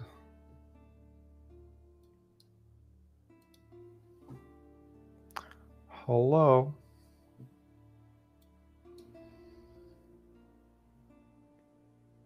It's being a little slow for some reason. Massive shrubland terrain. Huh, I haven't seen terrain terrains in Mixer before. Let's see what that looks like. Oh, that's cool. So let's see, it's got different stuff. So that is a surface that obviously has a displacement map. So you could use that displacement map in ZBrush if you wanted to. And so if you go into your settings, you know, and your download settings, you can choose what it downloads. So like that's downloading a displacement and you could use that displacement in ZBrush, you know, to make your own alphas. Um, and then for models, if we go into 3D assets and let's say we look at like rocks. So let's go in here and look at something like like this cliff. So for this cliff, basically we can see that for this, if you get the 3D model, and you get the Z tool because in Bridge it allows you to download the Z tools for a lot of things, the ZBrush file. You could then do a GrabDoc to pull the depth information and get an alpha. So I'm going to go back in here. I'm going to grab all of these alphas. I'm going to copy them. I'm going to go to ZBrush 2021 go into Z startup alphas and paste those in here.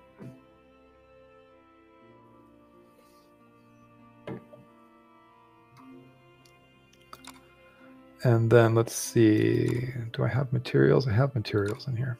Okay, so I'm going to relaunch ZBrush.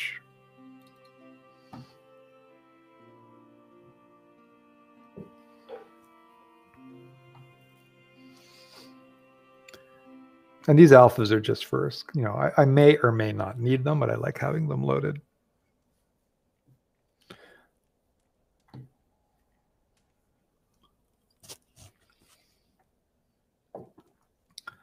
Okay. So I'm just going to make my document a little bigger.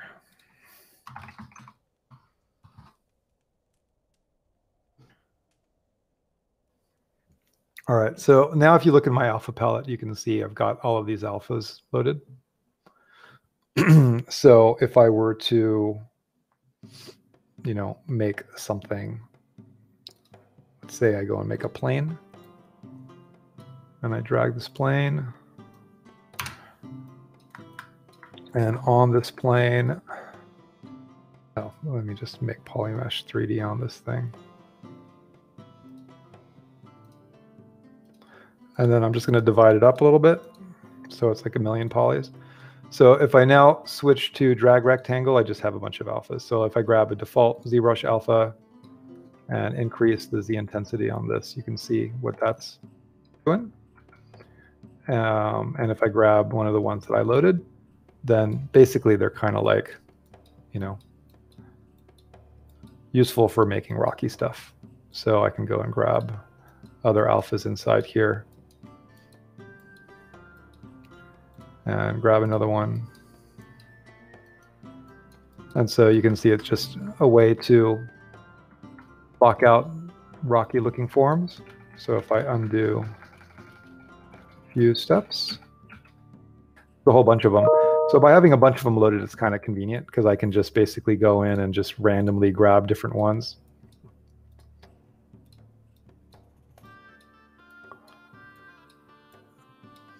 And start to block out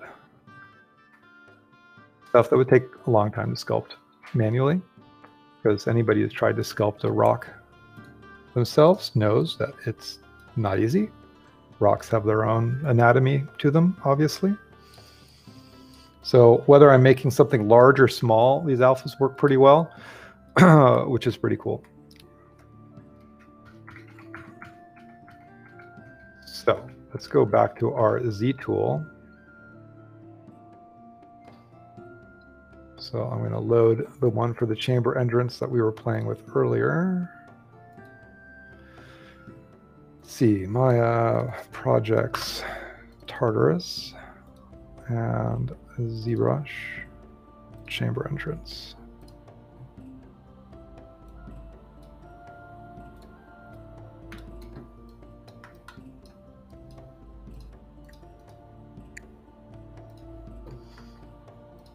All right. So this is the next thing that we're going to work on is this larger area. So this right now is two and a half million polygons, which is kind of fine because again, since we're going to texture it with uh, Mixer, and we're not going to be super close to it. So same thing, a single 4K or 8K map for that is going to be fine. Because from a camera perspective, you know, we'll probably be seeing it from an angle like about here. So technically, like this would need to be 2K worth of information or texture information, just this part of the geometry that we're seeing. And so that's what tells me that this might need an 8K map. In the end, but I guess I'm going to sculpt on this a little bit. So let's see. Grab my tablet. See if my tablet is working.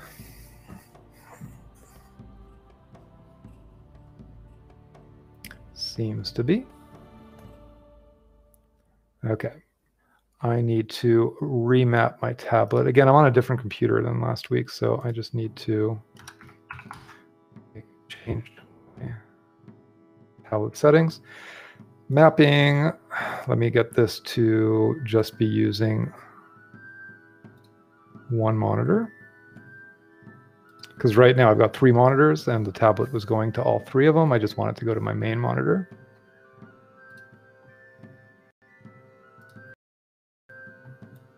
Okay. Nifurg. Is that Griffin? Uh, working on the Tartarus project, working on the entrance to the chamber that's going to have that big Titan head in it.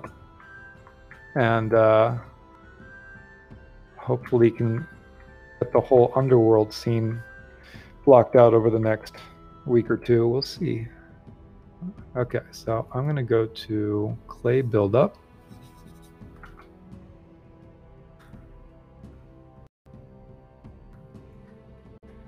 Just going to sculpt on this a little bit more. And that's probably what I'll do for the next half an hour, I'd say. So obviously I understand if I lose a few people because you've all seen people sculpt in ZBrush. But uh, it's the next thing I need to do. And with sculpting, this kind of stuff, meaning like natural shapes like rocks and cliffs, you know, I find that I can be relatively random with it because organic shapes tend to be very random in nature. It's really more of a composition issue. And I'll probably do it symmetrical for a while and then I'll turn off symmetry eventually. So this thing is not this big symmetrical shape.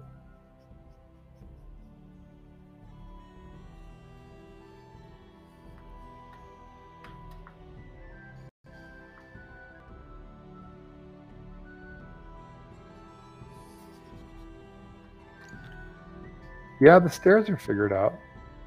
Um, but I need to get it all into like a final Unreal project so I can actually start doing all the set dressing and making the environment like for real because that file that I did the stairs on is still like a test file. So I don't really want to work on that anymore before I get that into another project. Because the project that I actually made the short in like has all these models already loaded in it. So like all the statues and things that I'm probably going to use, and a lot of rocks and Megascans assets that I'll probably want to use. So yeah, I need to, even though the stairs are figured out, like there's still a few other things I need to figure out too for down there. So I'm just going to like block out all the geometry for like the main shapes and then figure out the Unreal stuff once I'm kind of ready for the final scene assembly. So meaning like I'll ZBrush all the stuff I know that I need to ZBrush and then go to Unreal after that.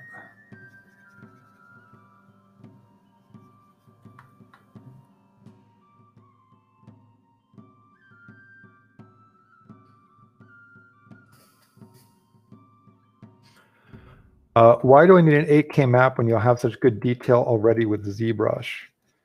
Um, it's for the textures. I'm talking about the textures that I would make with uh, Mixer. Because if you think that I'm going to render an animation out at 2K, meaning HD, so like let's say I was rendering this out like this and that this render was going to be 2000 pixels wide. So, because HD is 1920 by 1080. So, if I was rendering an animation that was 1920 pixels wide, the size of the rendered frame, and this wall fills that entire frame, then just like this, then the texture on the wall would need to be 1920 pixels wide because otherwise, if you get closer to it, you're just kind of zooming into that texture and it's going to start to get pixelated. So basically the optimum texture for this object, if I was rendering this 2K wide and the object filled the screen is 2K. But if the object was going to be back here, there'd be no reason to have a 2K texture on it because we're rendering a 2K, but it's only filling half of the frame. So it would only need a 1K texture on it. So what I'm saying is that we're going to be closer to this thing. Like we're going to be more like this. And so the color map that's on it, the normal map that's on it would need to be 8K so they don't get blurry as we, based on the camera position. So it's not so much about how many polygons it is in ZBrush. It's more about the textures you're going to wrap around those polygons.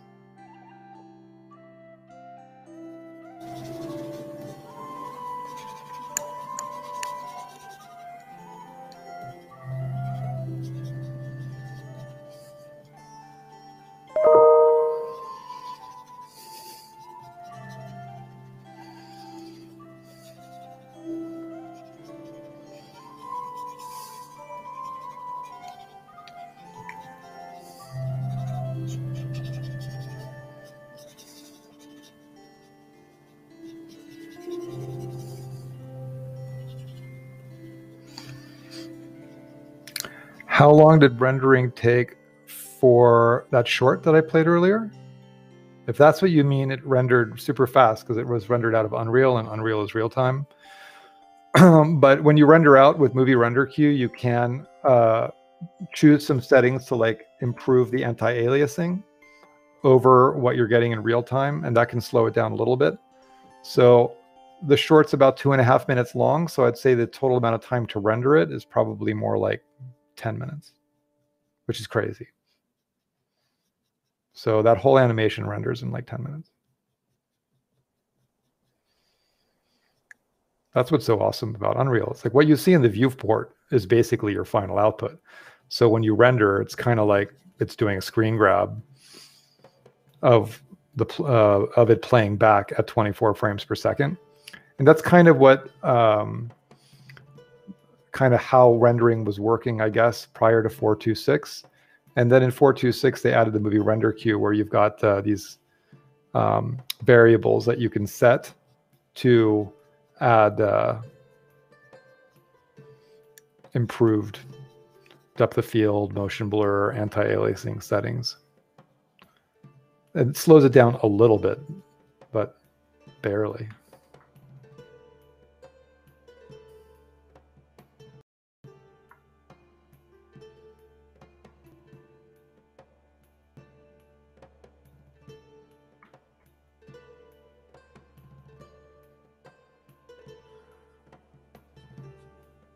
Think I'm going to divide this again. So now I'm at nine and a half million polygons.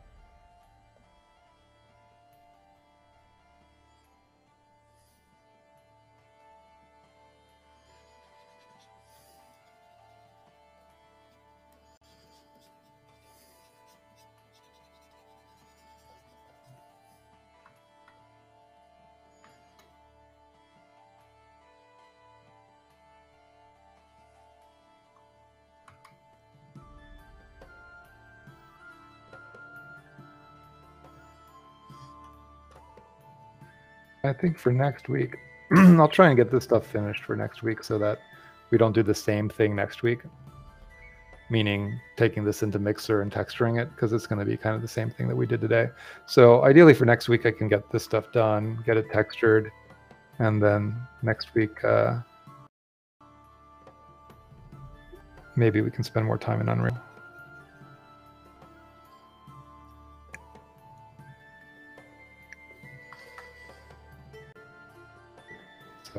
Ultimately, I'd kind of like to avoid being in ZBrush. It's just where I'm at on the stream, only because there's you know over at uh, Pixologic's Twitch channel, they've got so many people streaming, so many awesome people doing like really cool stuff that uh, you know there's a lot of great content by really cool people.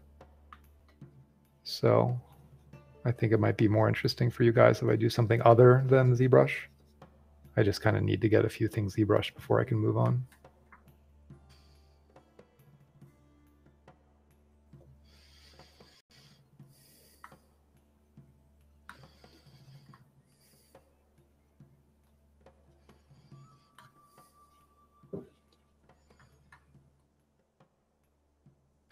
At 10 minutes, it's crazy. I mean, it's like and ultimately it's like it looks really good you know it's like the fact that it's got motion blur and depth of field and like all these things and you know volumetric um, shadows in the volume fog and like all these things that with you know offline renderers typically slow things down quite a bit you know like generally like with redshift if you turn on depth of field you really have to crank your samples because it gets really noisy um, and then that slows down your render a lot. But with Unreal, you turn on depth of field, and you know it's probably doing a similar depth of field hack, like using the Z buffer to create depth of field, like we would do with a Z depth pass and like Nuke or After Effects to fake depth of field in post. But ultimately, you know, it's regardless of how it's doing it, it looks really good. It's got bokeh um, meaning like the blooming that you see on like bright light sources and hot spots. And it's just, uh, but it doesn't slow down your rendering. So you're still getting real time rendering with motion blur and all these effects. It's kind of nuts if you're used to coming from things like Arnold or whatever. So it's cool. There's, I don't know if you all have seen it. I just saw it this morning. What's it called? There's a new short that just came out that's awesome that you guys should watch. Let me give you the name. say the wrong one because I just watched it. It's uh, using some of the big, medium, small assets uh, da, da, da, by uh, Sava Zivkovic. And it's called Irradiation. So here I'm going to go and show you guys where the link is for it. Here we go. This I just watched today, and it is super cool, made with Unreal. Um, and so, yeah, so it was just posted 10 hours ago. So I highly recommend if you guys are into, you know, seeing some Unreal shorts, uh, this one is really, really, really cool. 10 minutes long, really cool sound design. And, uh, and according to Sava, he's got another video. There's a link down here that's like a uh, process video and in this process video, he talks about uh, sort of like a making of, and he says that they only worked on this for a month. Um, and a lot of the things that are impressive and amazing about Unreal, meaning the interactivity for iterating, is just, you know, it's it's so many people are trying it out because it's so amazing to be able to, you know, have your animation and your characters and your effects and your rain and your fire and everything is just in real time and you're blocking your shots and it's i don't know unreal is really really neat. So we live in very cool times to be a 3d artist because things are just getting more and more fun to use 3D's always been fun. Like I never thought it wasn't fun, but like I wouldn't want to go backwards. Like the idea of going back to like 1997 and using Maya version 1 on the computers from back then, it would be painful because compared to what we're used to now, it was slow. We didn't necessarily think of it as slow because it was new and exciting, but anyway. Unreal is really neat. So watch that short.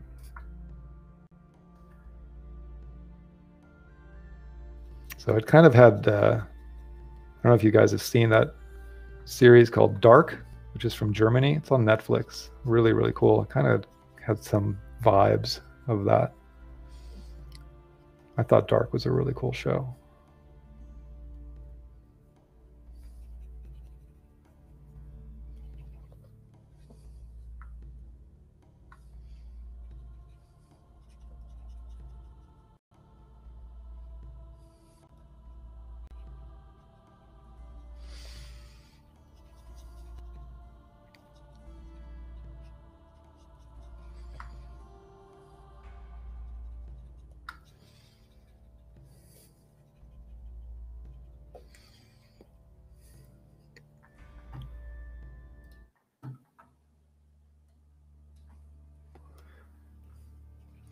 So,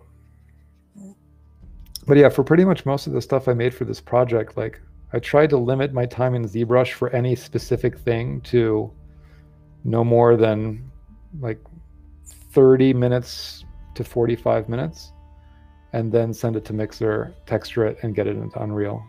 It's just like I didn't want to spend more, time than that uh, until camera, until I kind of my shots and then would be like, okay, this object I need to redo, or this object needs a little bit more time in ZBrush.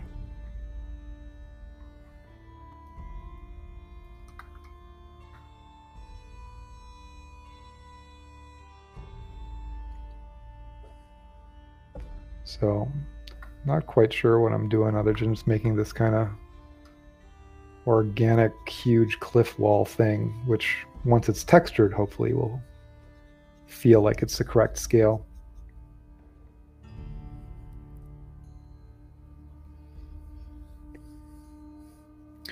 I'm going to save. Forgetting to save.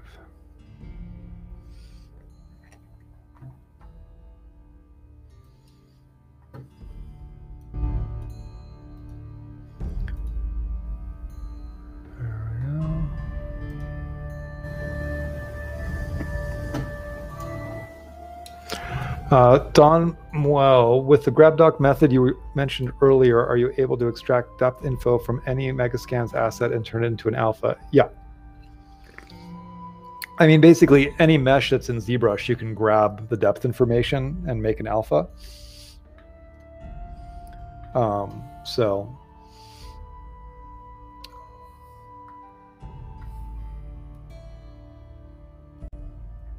You can see under the uh, alpha palette in ZBrush, there's a little button here that says GrabDoc. And so, you know, if you click that, it's going to go and create an alpha. So I now have an alpha that is basically the depth information of my document. And so that's basically it. And so if I, I don't want to be using that for that, but if I go, let's say to like the standard brush, and I now go and grab that alpha that I just made. Hmm, let's go somewhere out here. You can see I made an alpha out of the depth information of my scene, which actually looks kind of cool. So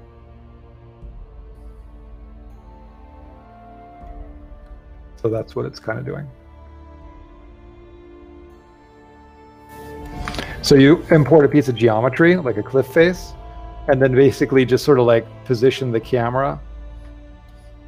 You know, like you just sort of decide the angle that you want to grab the depth information from. And then I would set my document to 2K because my alphas are all 2K. So go to the document. I'd set the document to 2048 by 2048. And then once I position the camera the way I want it to be, then I'll click grab doc and that'll create a 2048 by 2048 alpha in the alpha palette. And then I can uh, save that out to disk. And I created a lot of alphas that way. So one cool scan from uh, Bridge, from Megascans, you know, one cool cliff scan, you might be able to pull a few alphas off of it. It's kind of neat. So I know a lot of people, you know, make alphas through. Yeah, that's not what I want to do. Let me go to. Okay. A lot of people, you know, make alphas by sculpting, like sculpting from scratch. Um, and that obviously works really well too. It just really depends what you're doing.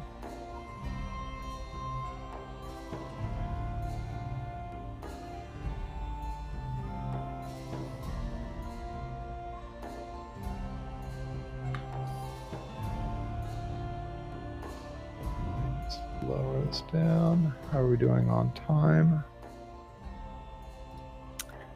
These streams go by bizarrely quickly.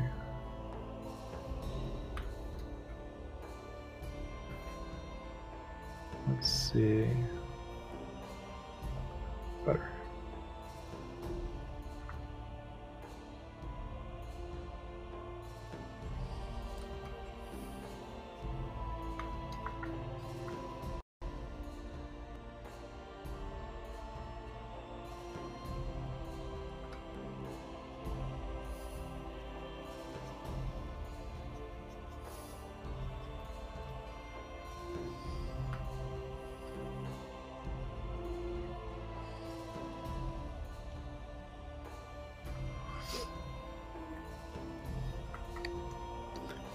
Well, Marlo, I definitely think that of all the programs that I use, ZBrush is the one that feels the most like traditional media, you know, meaning like you're just sculpting, you're not using a lot of tools.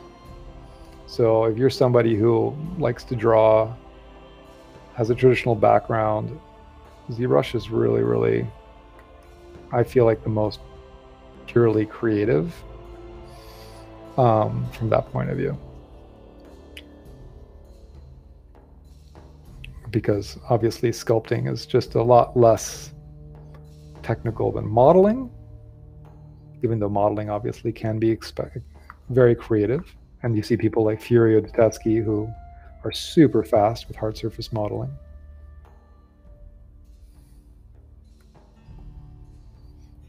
But yeah, ZBrush is uh, all these programs, you know, aside from the free ones like Unreal and Blender, some of them are definitely expensive. But the nice thing with ZBrush, you got to remember, is that you get free upgrades for life. So you only pay for it once, as opposed to, you know, things that are subscription based where you have to kind of keep paying every month.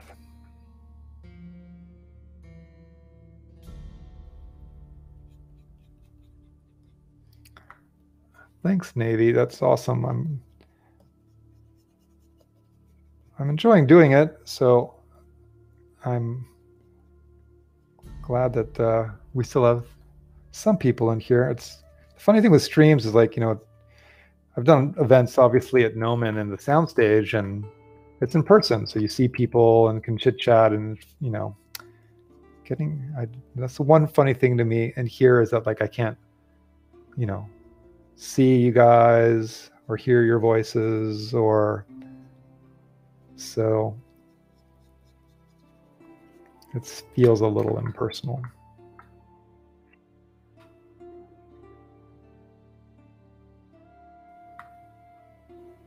I mean, obviously, if we did these on Zoom, then that would be different and I could see people and that could be cool. It just would be a very different setup, I guess. Because obviously, our classes, like all of our online classes, are not done on Twitch and people are using webcams and seeing each other. I think just that's one of the things with teaching that I always liked is getting to know people, you know, like meeting people, meeting cool people, um, and making friends and all that kind of stuff. So being a streamer is kind of like, well, meet people. It's like I see your names, but it's abstract. Live Zoom Art Jam. Maybe, maybe that's the way to go. Maybe that would be more fun.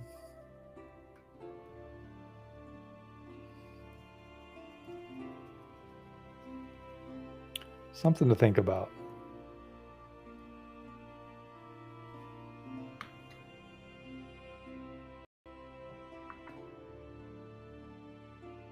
But that could be like in addition to this, meaning like, you know, Josh and I can still do the Twitch streams and maybe add something different that we do on another day.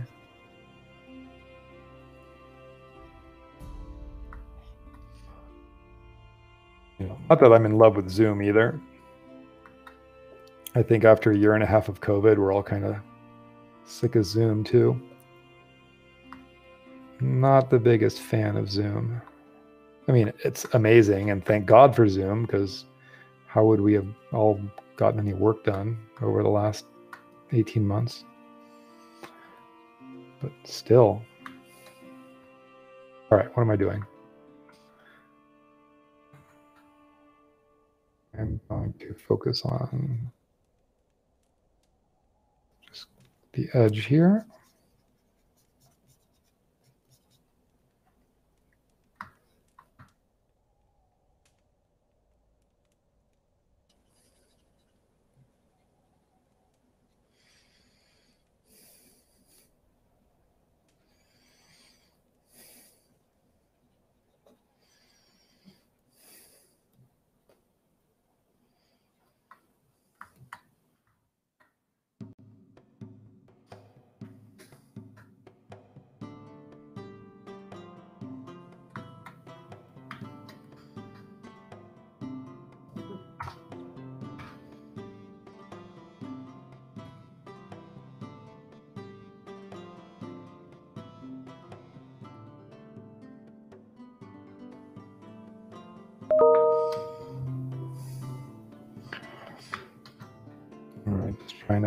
Figure out because obviously there's more wall to the outside of these things.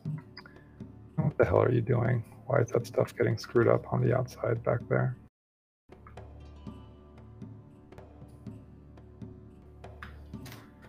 All right, I'll have to fix that later by just mirroring the geometry because for some reason it got tweaked. So I could have accidentally had a mask. Maybe. Let's see. That's not that many steps back, so let's take a look.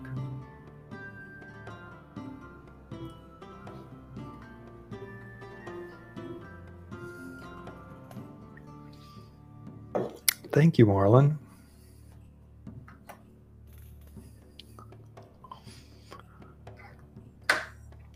All right, well, now we have the spinning blue wheel, so it's a good thing I saved not too long ago.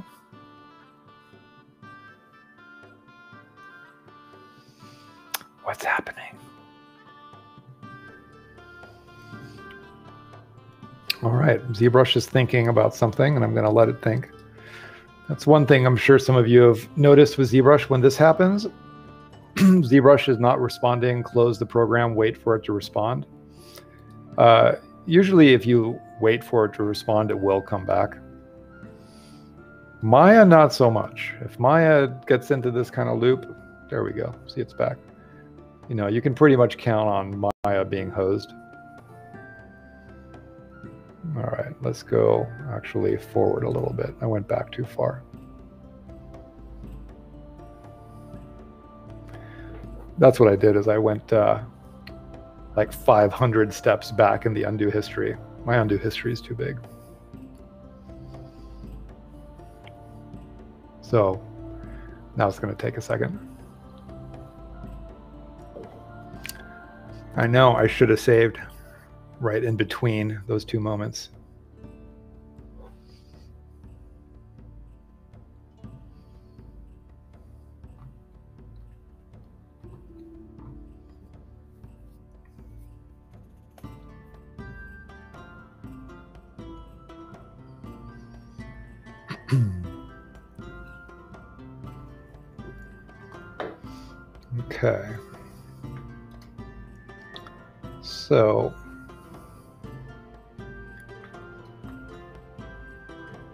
Kind of see what the problem is.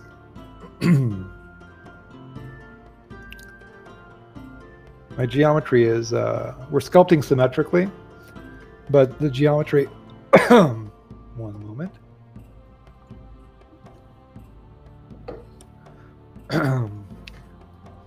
um, don't you hate it when you swallow the wrong way? Evolution fail. So my geometry is we're sculpting symmetrically, but there's a little bit of uh, extra space on the left side than on the right side, which is weird, but I'm not going to get hung up on that. So I can see in here, I'm just going to ignore it. But it, that's why when I got to the edges, I got those artifacts. And so sometimes when things like this happen, you're just gotta just roll with it because what am I gonna do? Like it doesn't matter what's going on on the edge there. I can easily resolve this by turning off symmetry. And I'm just gonna do what I was doing on the edges on each side. It's fine. So I'm gonna switch back to clay buildup.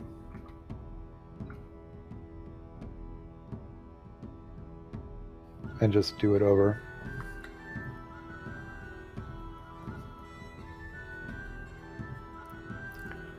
And I'll just save from this point.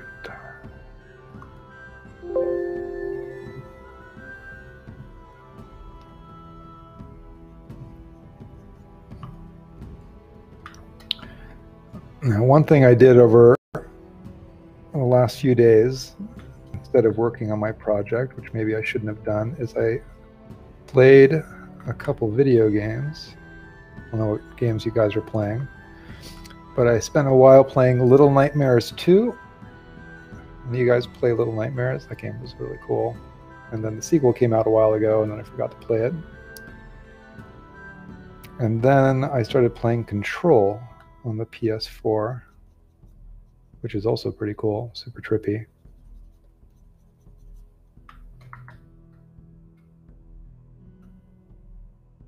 Don't know if I'm going to finish it though.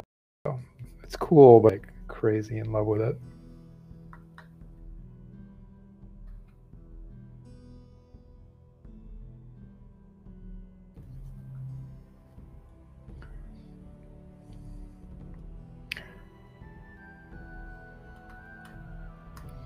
Yeah, Little Nightmares 1 was so awesome, so weird. And Little Nightmares 2, I'm only maybe like three hours into it. But it's totally got the same vibe. And it's made in Unreal, which is cool.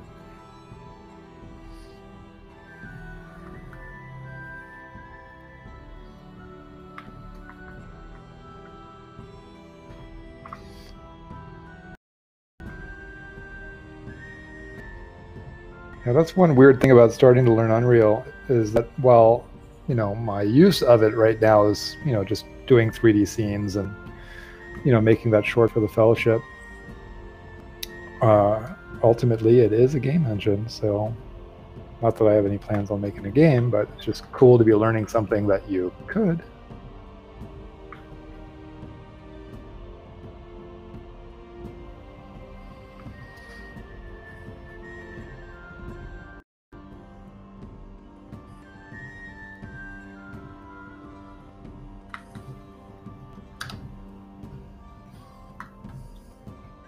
Uh, Senua's Sacrifice. I played it a little bit. I, I, that's another one I want to get back to. Um, I think I played maybe only like two hours, and that was like when it came out. So that's definitely on my list of a game that I'd love to play.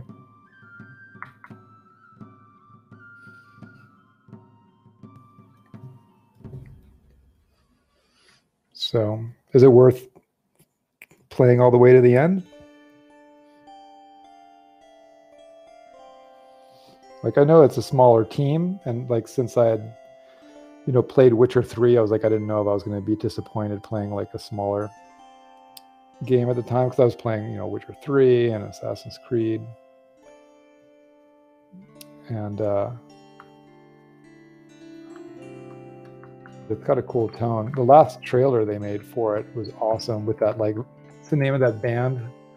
Sort of like Viking band. I saw them live and I'm blanking on their name. That Senua's Sacrifice trailer where they're like, there's the fire and she's chanting and singing. Yes, Heilung, thank you. So yeah, that trailer came out, and obviously it was like uh, super super cool. And then it turned out that Heilung was playing in L.A. only like a couple months later, and so we got to go see them live. It was really cool. Like I highly recommend seeing them live. It is very theatrical. It's cool. And it was a crazy crowd. Like there were uh, a lot of people dressed up for that show.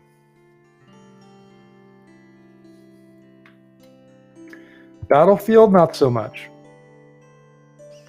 And not for any reason. Like I just tend to play I, mean, I guess there's a reason. I tend to play fantasy RPG type games, you know, like and uh, or games like you know Diablo. Like I can't wait for Diablo 2 Resurrected to come out um, because Diablo 2 is definitely one of my favorite games, more so than three. Um, so bad the Battlefield games, I think they'd be a lot more fun to play with friends than to play like the single player campaign and I tend to be uh, into single player games.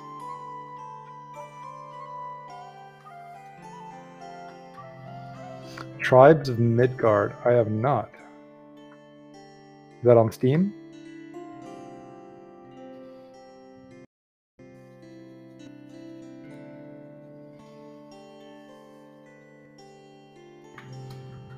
I don't know if I've sounds familiar, like maybe I've seen it advertised on Steam.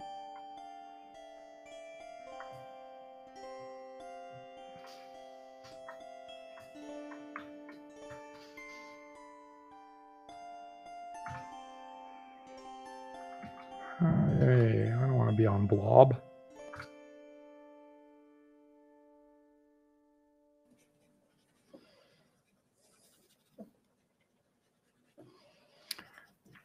Didn't play Death Stranding either. That one didn't. The trailers were cool, and I love the trailers and the vibe of them. But when I watched some of the gameplay videos on YouTube and Twitch, just didn't seem like my cup of tea. Seemed like a lot of walking around. I don't know. And I watched a couple review videos that people kind of put me off from it, where it just looked frustrating.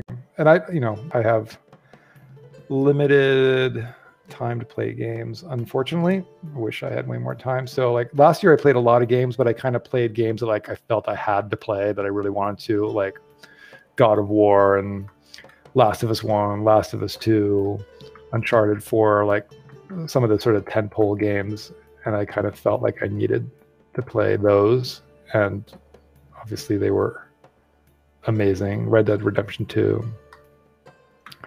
Um, but I played so many games last year that now I, I felt kind of guilty. So now I feel like this year I'm not really doing as much.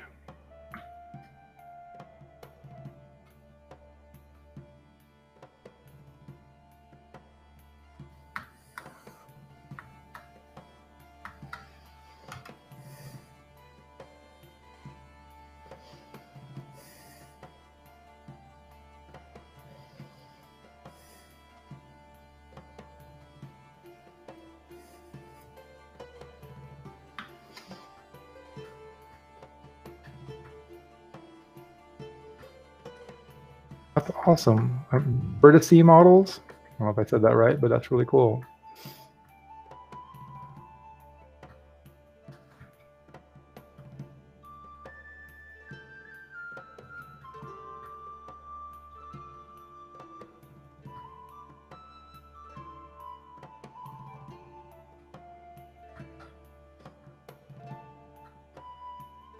So this is kind of at a point that just throw textures on it and bring it mixer. So I'm going to now smooth out a lot of this stuff because a lot of the clay tubes detail that's in here I don't need. Save it first before I do that.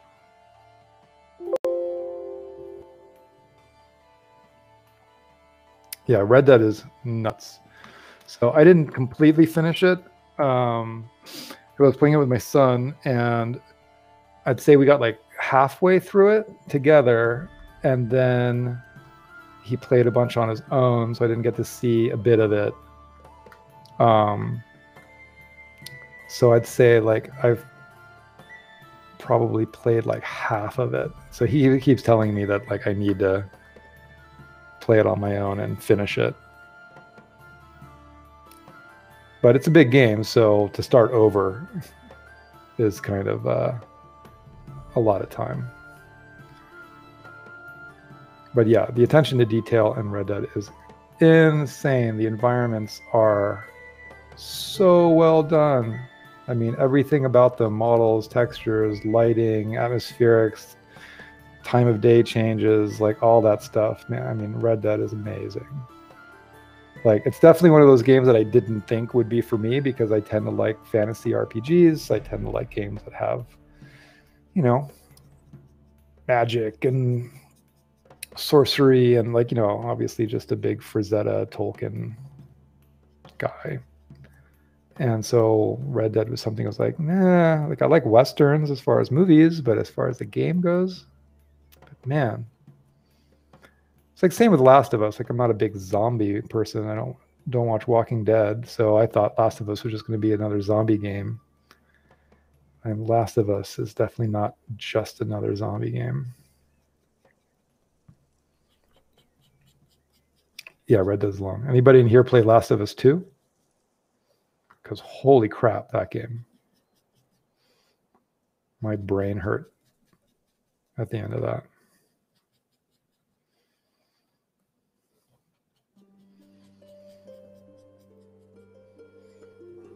Yeah, I mean, it was amazing. I mean, Last of Us 2, you know, sometimes when I finish a game, I might write something up on Facebook.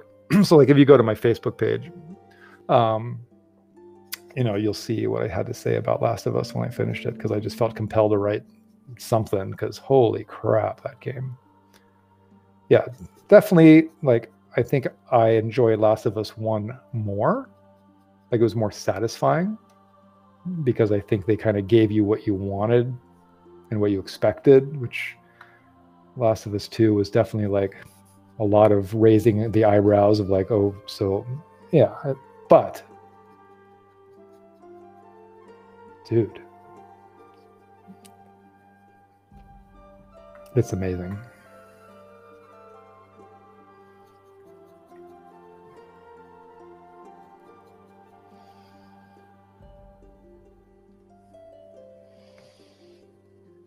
Yeah, it's nuts.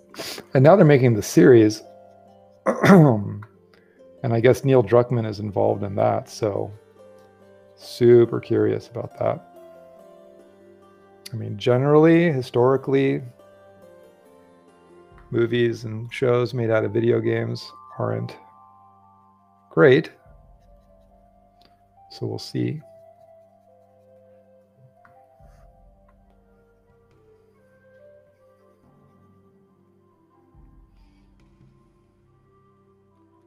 But I want it to be good because you know there's so many people out there that will never play the game, people that are just not gamers, and it's such a good story, and it's so well done and it's so cinematic. Same thing with Uncharted, like you know Uncharted three, Uncharted four could totally be movies. I mean they already are kind of movies.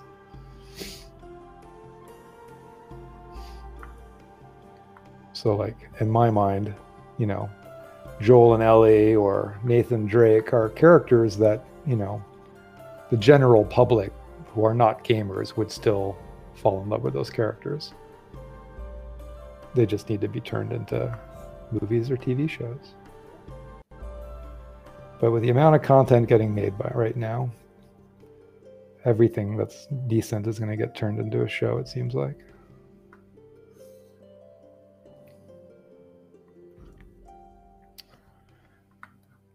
Yeah, I'm looking forward to the new God of War 2. Did they say when that's coming out? I assume not. That's probably got to be like a ways out.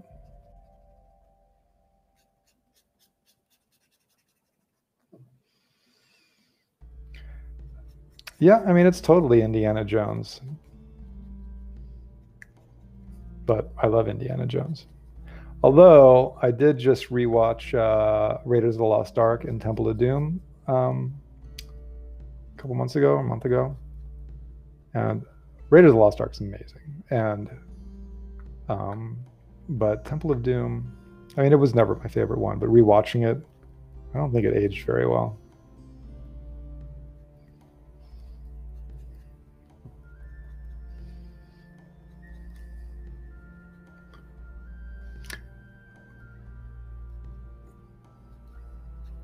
Yeah, they're making another Indiana Jones movie with Harrison Ford, I believe, which is unfortunate. because the Crystal Skull one was, I don't know, I thought it was really bad. I don't think I'm the only person who thought that.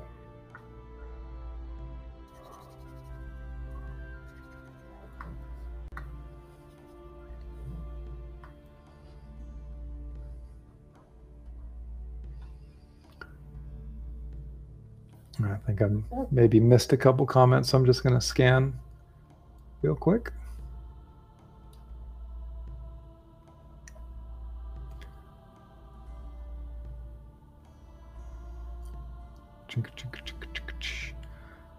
What incoming games are I most excited about? Well, I mentioned Diablo 2 Resurrected, so that's the soonest one coming out that I'm really looking forward to. Because I've I played Diablo 2, like I still just really distinctly remember playing Diablo 2 and uh, finishing it because I was played Diablo 2 on uh, a MacBook laptop 20 years ago, Gnomon was still pretty young because Gnomon was started in 97. So in 2000, which is when Diablo 2 came out, um, you know, Noblo, Gnomon was only three years old, but I was invited to go to Japan by a school there um, to do a talk and to speak at like their opening ceremonies or. Anyway, it was a long time ago. And uh, but it was like all expenses paid trip to Japan to be a speaker. Like they flew us business class and put us in a nice hotel, and like it was pretty awesome, you know. And uh, and anyway, Diablo 2 had come out, and I really wanted to keep playing it, so I installed it on my laptop, and thinking that I was going to have Diablo 2 to look forward to in the hotel room every night and it was like a eight day, nine day trip to Japan. We went to like Tokyo, Osaka, Fukuoka. No, not Fukuoka. Tokyo, Osaka, and uh, where did we go to? I'm forgetting the third city, but anyway, I thought I was going to have Diablo 2 to look forward to in the hotel room every night. And I remember I finished it on like the third night in the hotel room. And I was so bummed that it was over because I thought I was going to do that every night. Um, anyway, best soundtrack ever, Diablo 2. But the thing that's weird is uh, somebody showed like a gameplay trailer of like Diablo 2 versus Diablo 2 Resurrected. And, uh, you know, the original game was only like 800 by 600. And the new one, you know, I think will run at 4K and it's funny like you see the new one and it's kind of like what your memory is of the original one. Like i don't remember the original one looking as low res as it was. Because you know at the time you know your brain just sort of fills in all the details. Anyway i'm looking forward to that. And then new world. So my son and i played uh, new world for a bit uh, the new Amazon MMO, and actually it was pretty cool. So that was supposed to come out, I think, at the end of this month. They just pushed it back to the end of September. So we're looking forward to that. Hello, Brazil. Watching me from Paris. That is awesome. So I'm actually French, which you may not assume, but I have a French passport. I am a French citizen. So, but I was raised in LA. My mom was French, and we moved here when I was a baby. So I was born in Paris.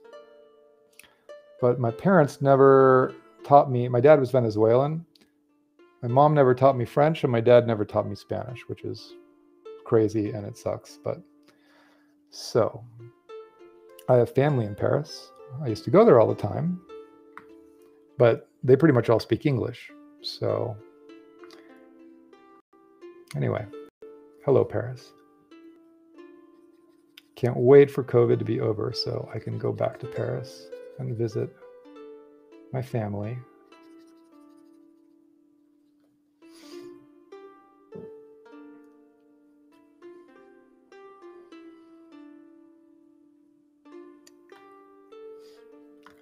Final Fantasy. Nope, not yet. So my son watches Asmongold a lot, has for years, and I guess he's playing Final Fantasy now.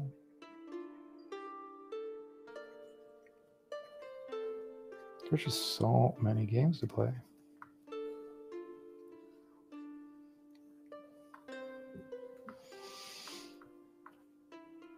All right. Well, once this thing is textured, hopefully it inter integrates with this thing down here. but that's something I'll play with in Unreal because to help it integrate, I might add more objects kind of sticking out of this thing like spikes or whatever.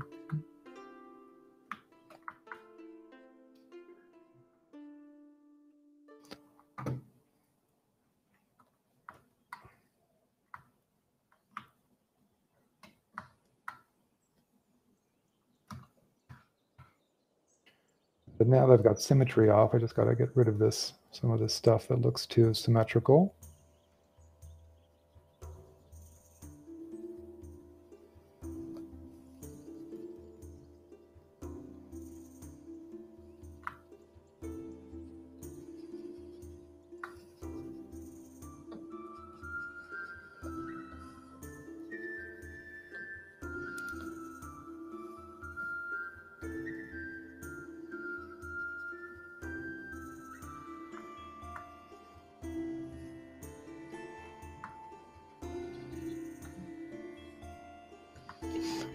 Visit other schools around the world? it's been a while. I have. I mean, I've been to a few.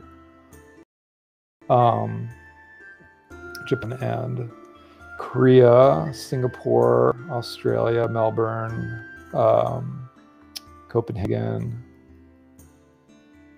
Um, visited a school in Barcelona. Not that many. Obviously, other schools in the states. Um,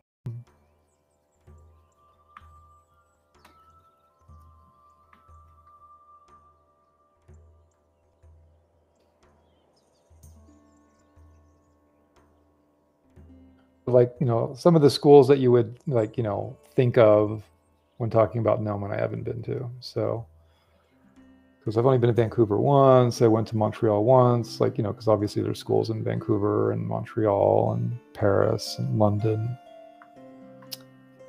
It's a big planet.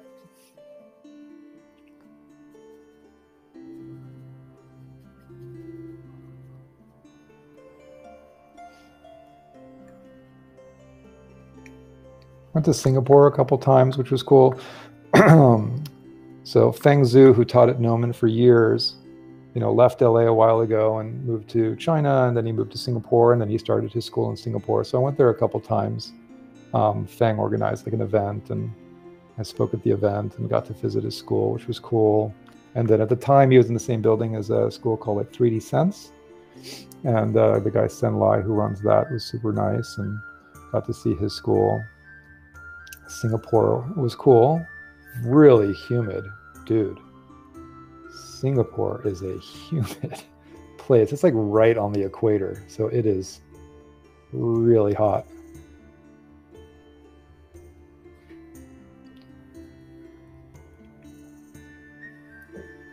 Uh, Truemax, yeah, that's the one. Yeah, because me and uh, Leonard Teo, the guy who made ArtStation, um, me and Leonard did an event in Copenhagen, uh, 3D festival. This is back in like 2006. Because I've known Leonard forever, and uh, and so that was in Copenhagen. So we did that two years in a row. And then Truemax obviously was uh, at the time. I don't know about these days, but it was like the 3D school there. So I got to meet some people who were who work there and were studying there.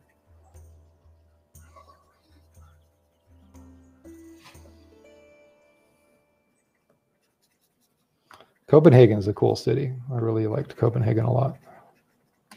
People were super friendly. Everybody speaks English, which is was super weird.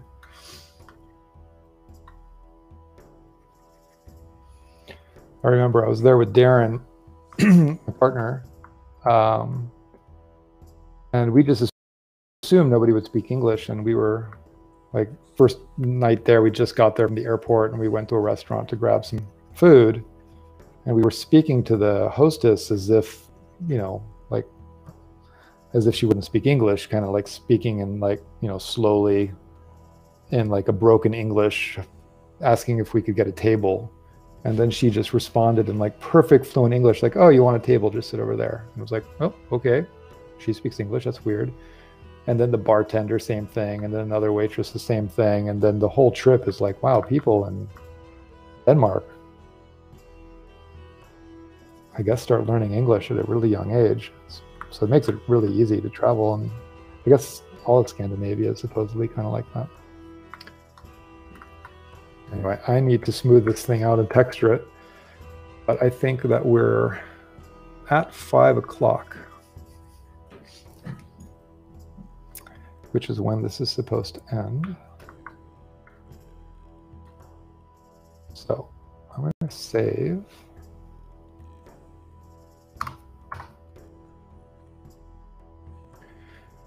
And then if I'm able to sneak it in this weekend, then I will finish all this stuff up. And ideally, we don't spend any time in ZBrush next week. Hopefully, it's all either mixer or scene layout in uh, assembly in uh, Unreal. So cool.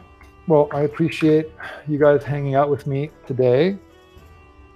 And uh, hopefully, some of it was interesting, but it was nice chatting and talking about games. But yep, I'll be back next week. I'll be here every Wednesday until uh, Josh is back from the Unreal Fellowship. So, and I think he's got the fellowship until uh, the first week of September. So I'll be doing this for like another three weeks. And I mean, I'll keep joining Josh once he's back. But as far as it being me solo, um, probably like another three, three or four weeks. Um, all right, everybody. Well, thanks for watching. Have a good rest of your Wednesday and a good rest of your week. And have fun with software and making stuff and being creative. And good luck with the weird world we live in. But I hope you all have a good day and evening. I'll see you guys later. See you guys next week. Adios.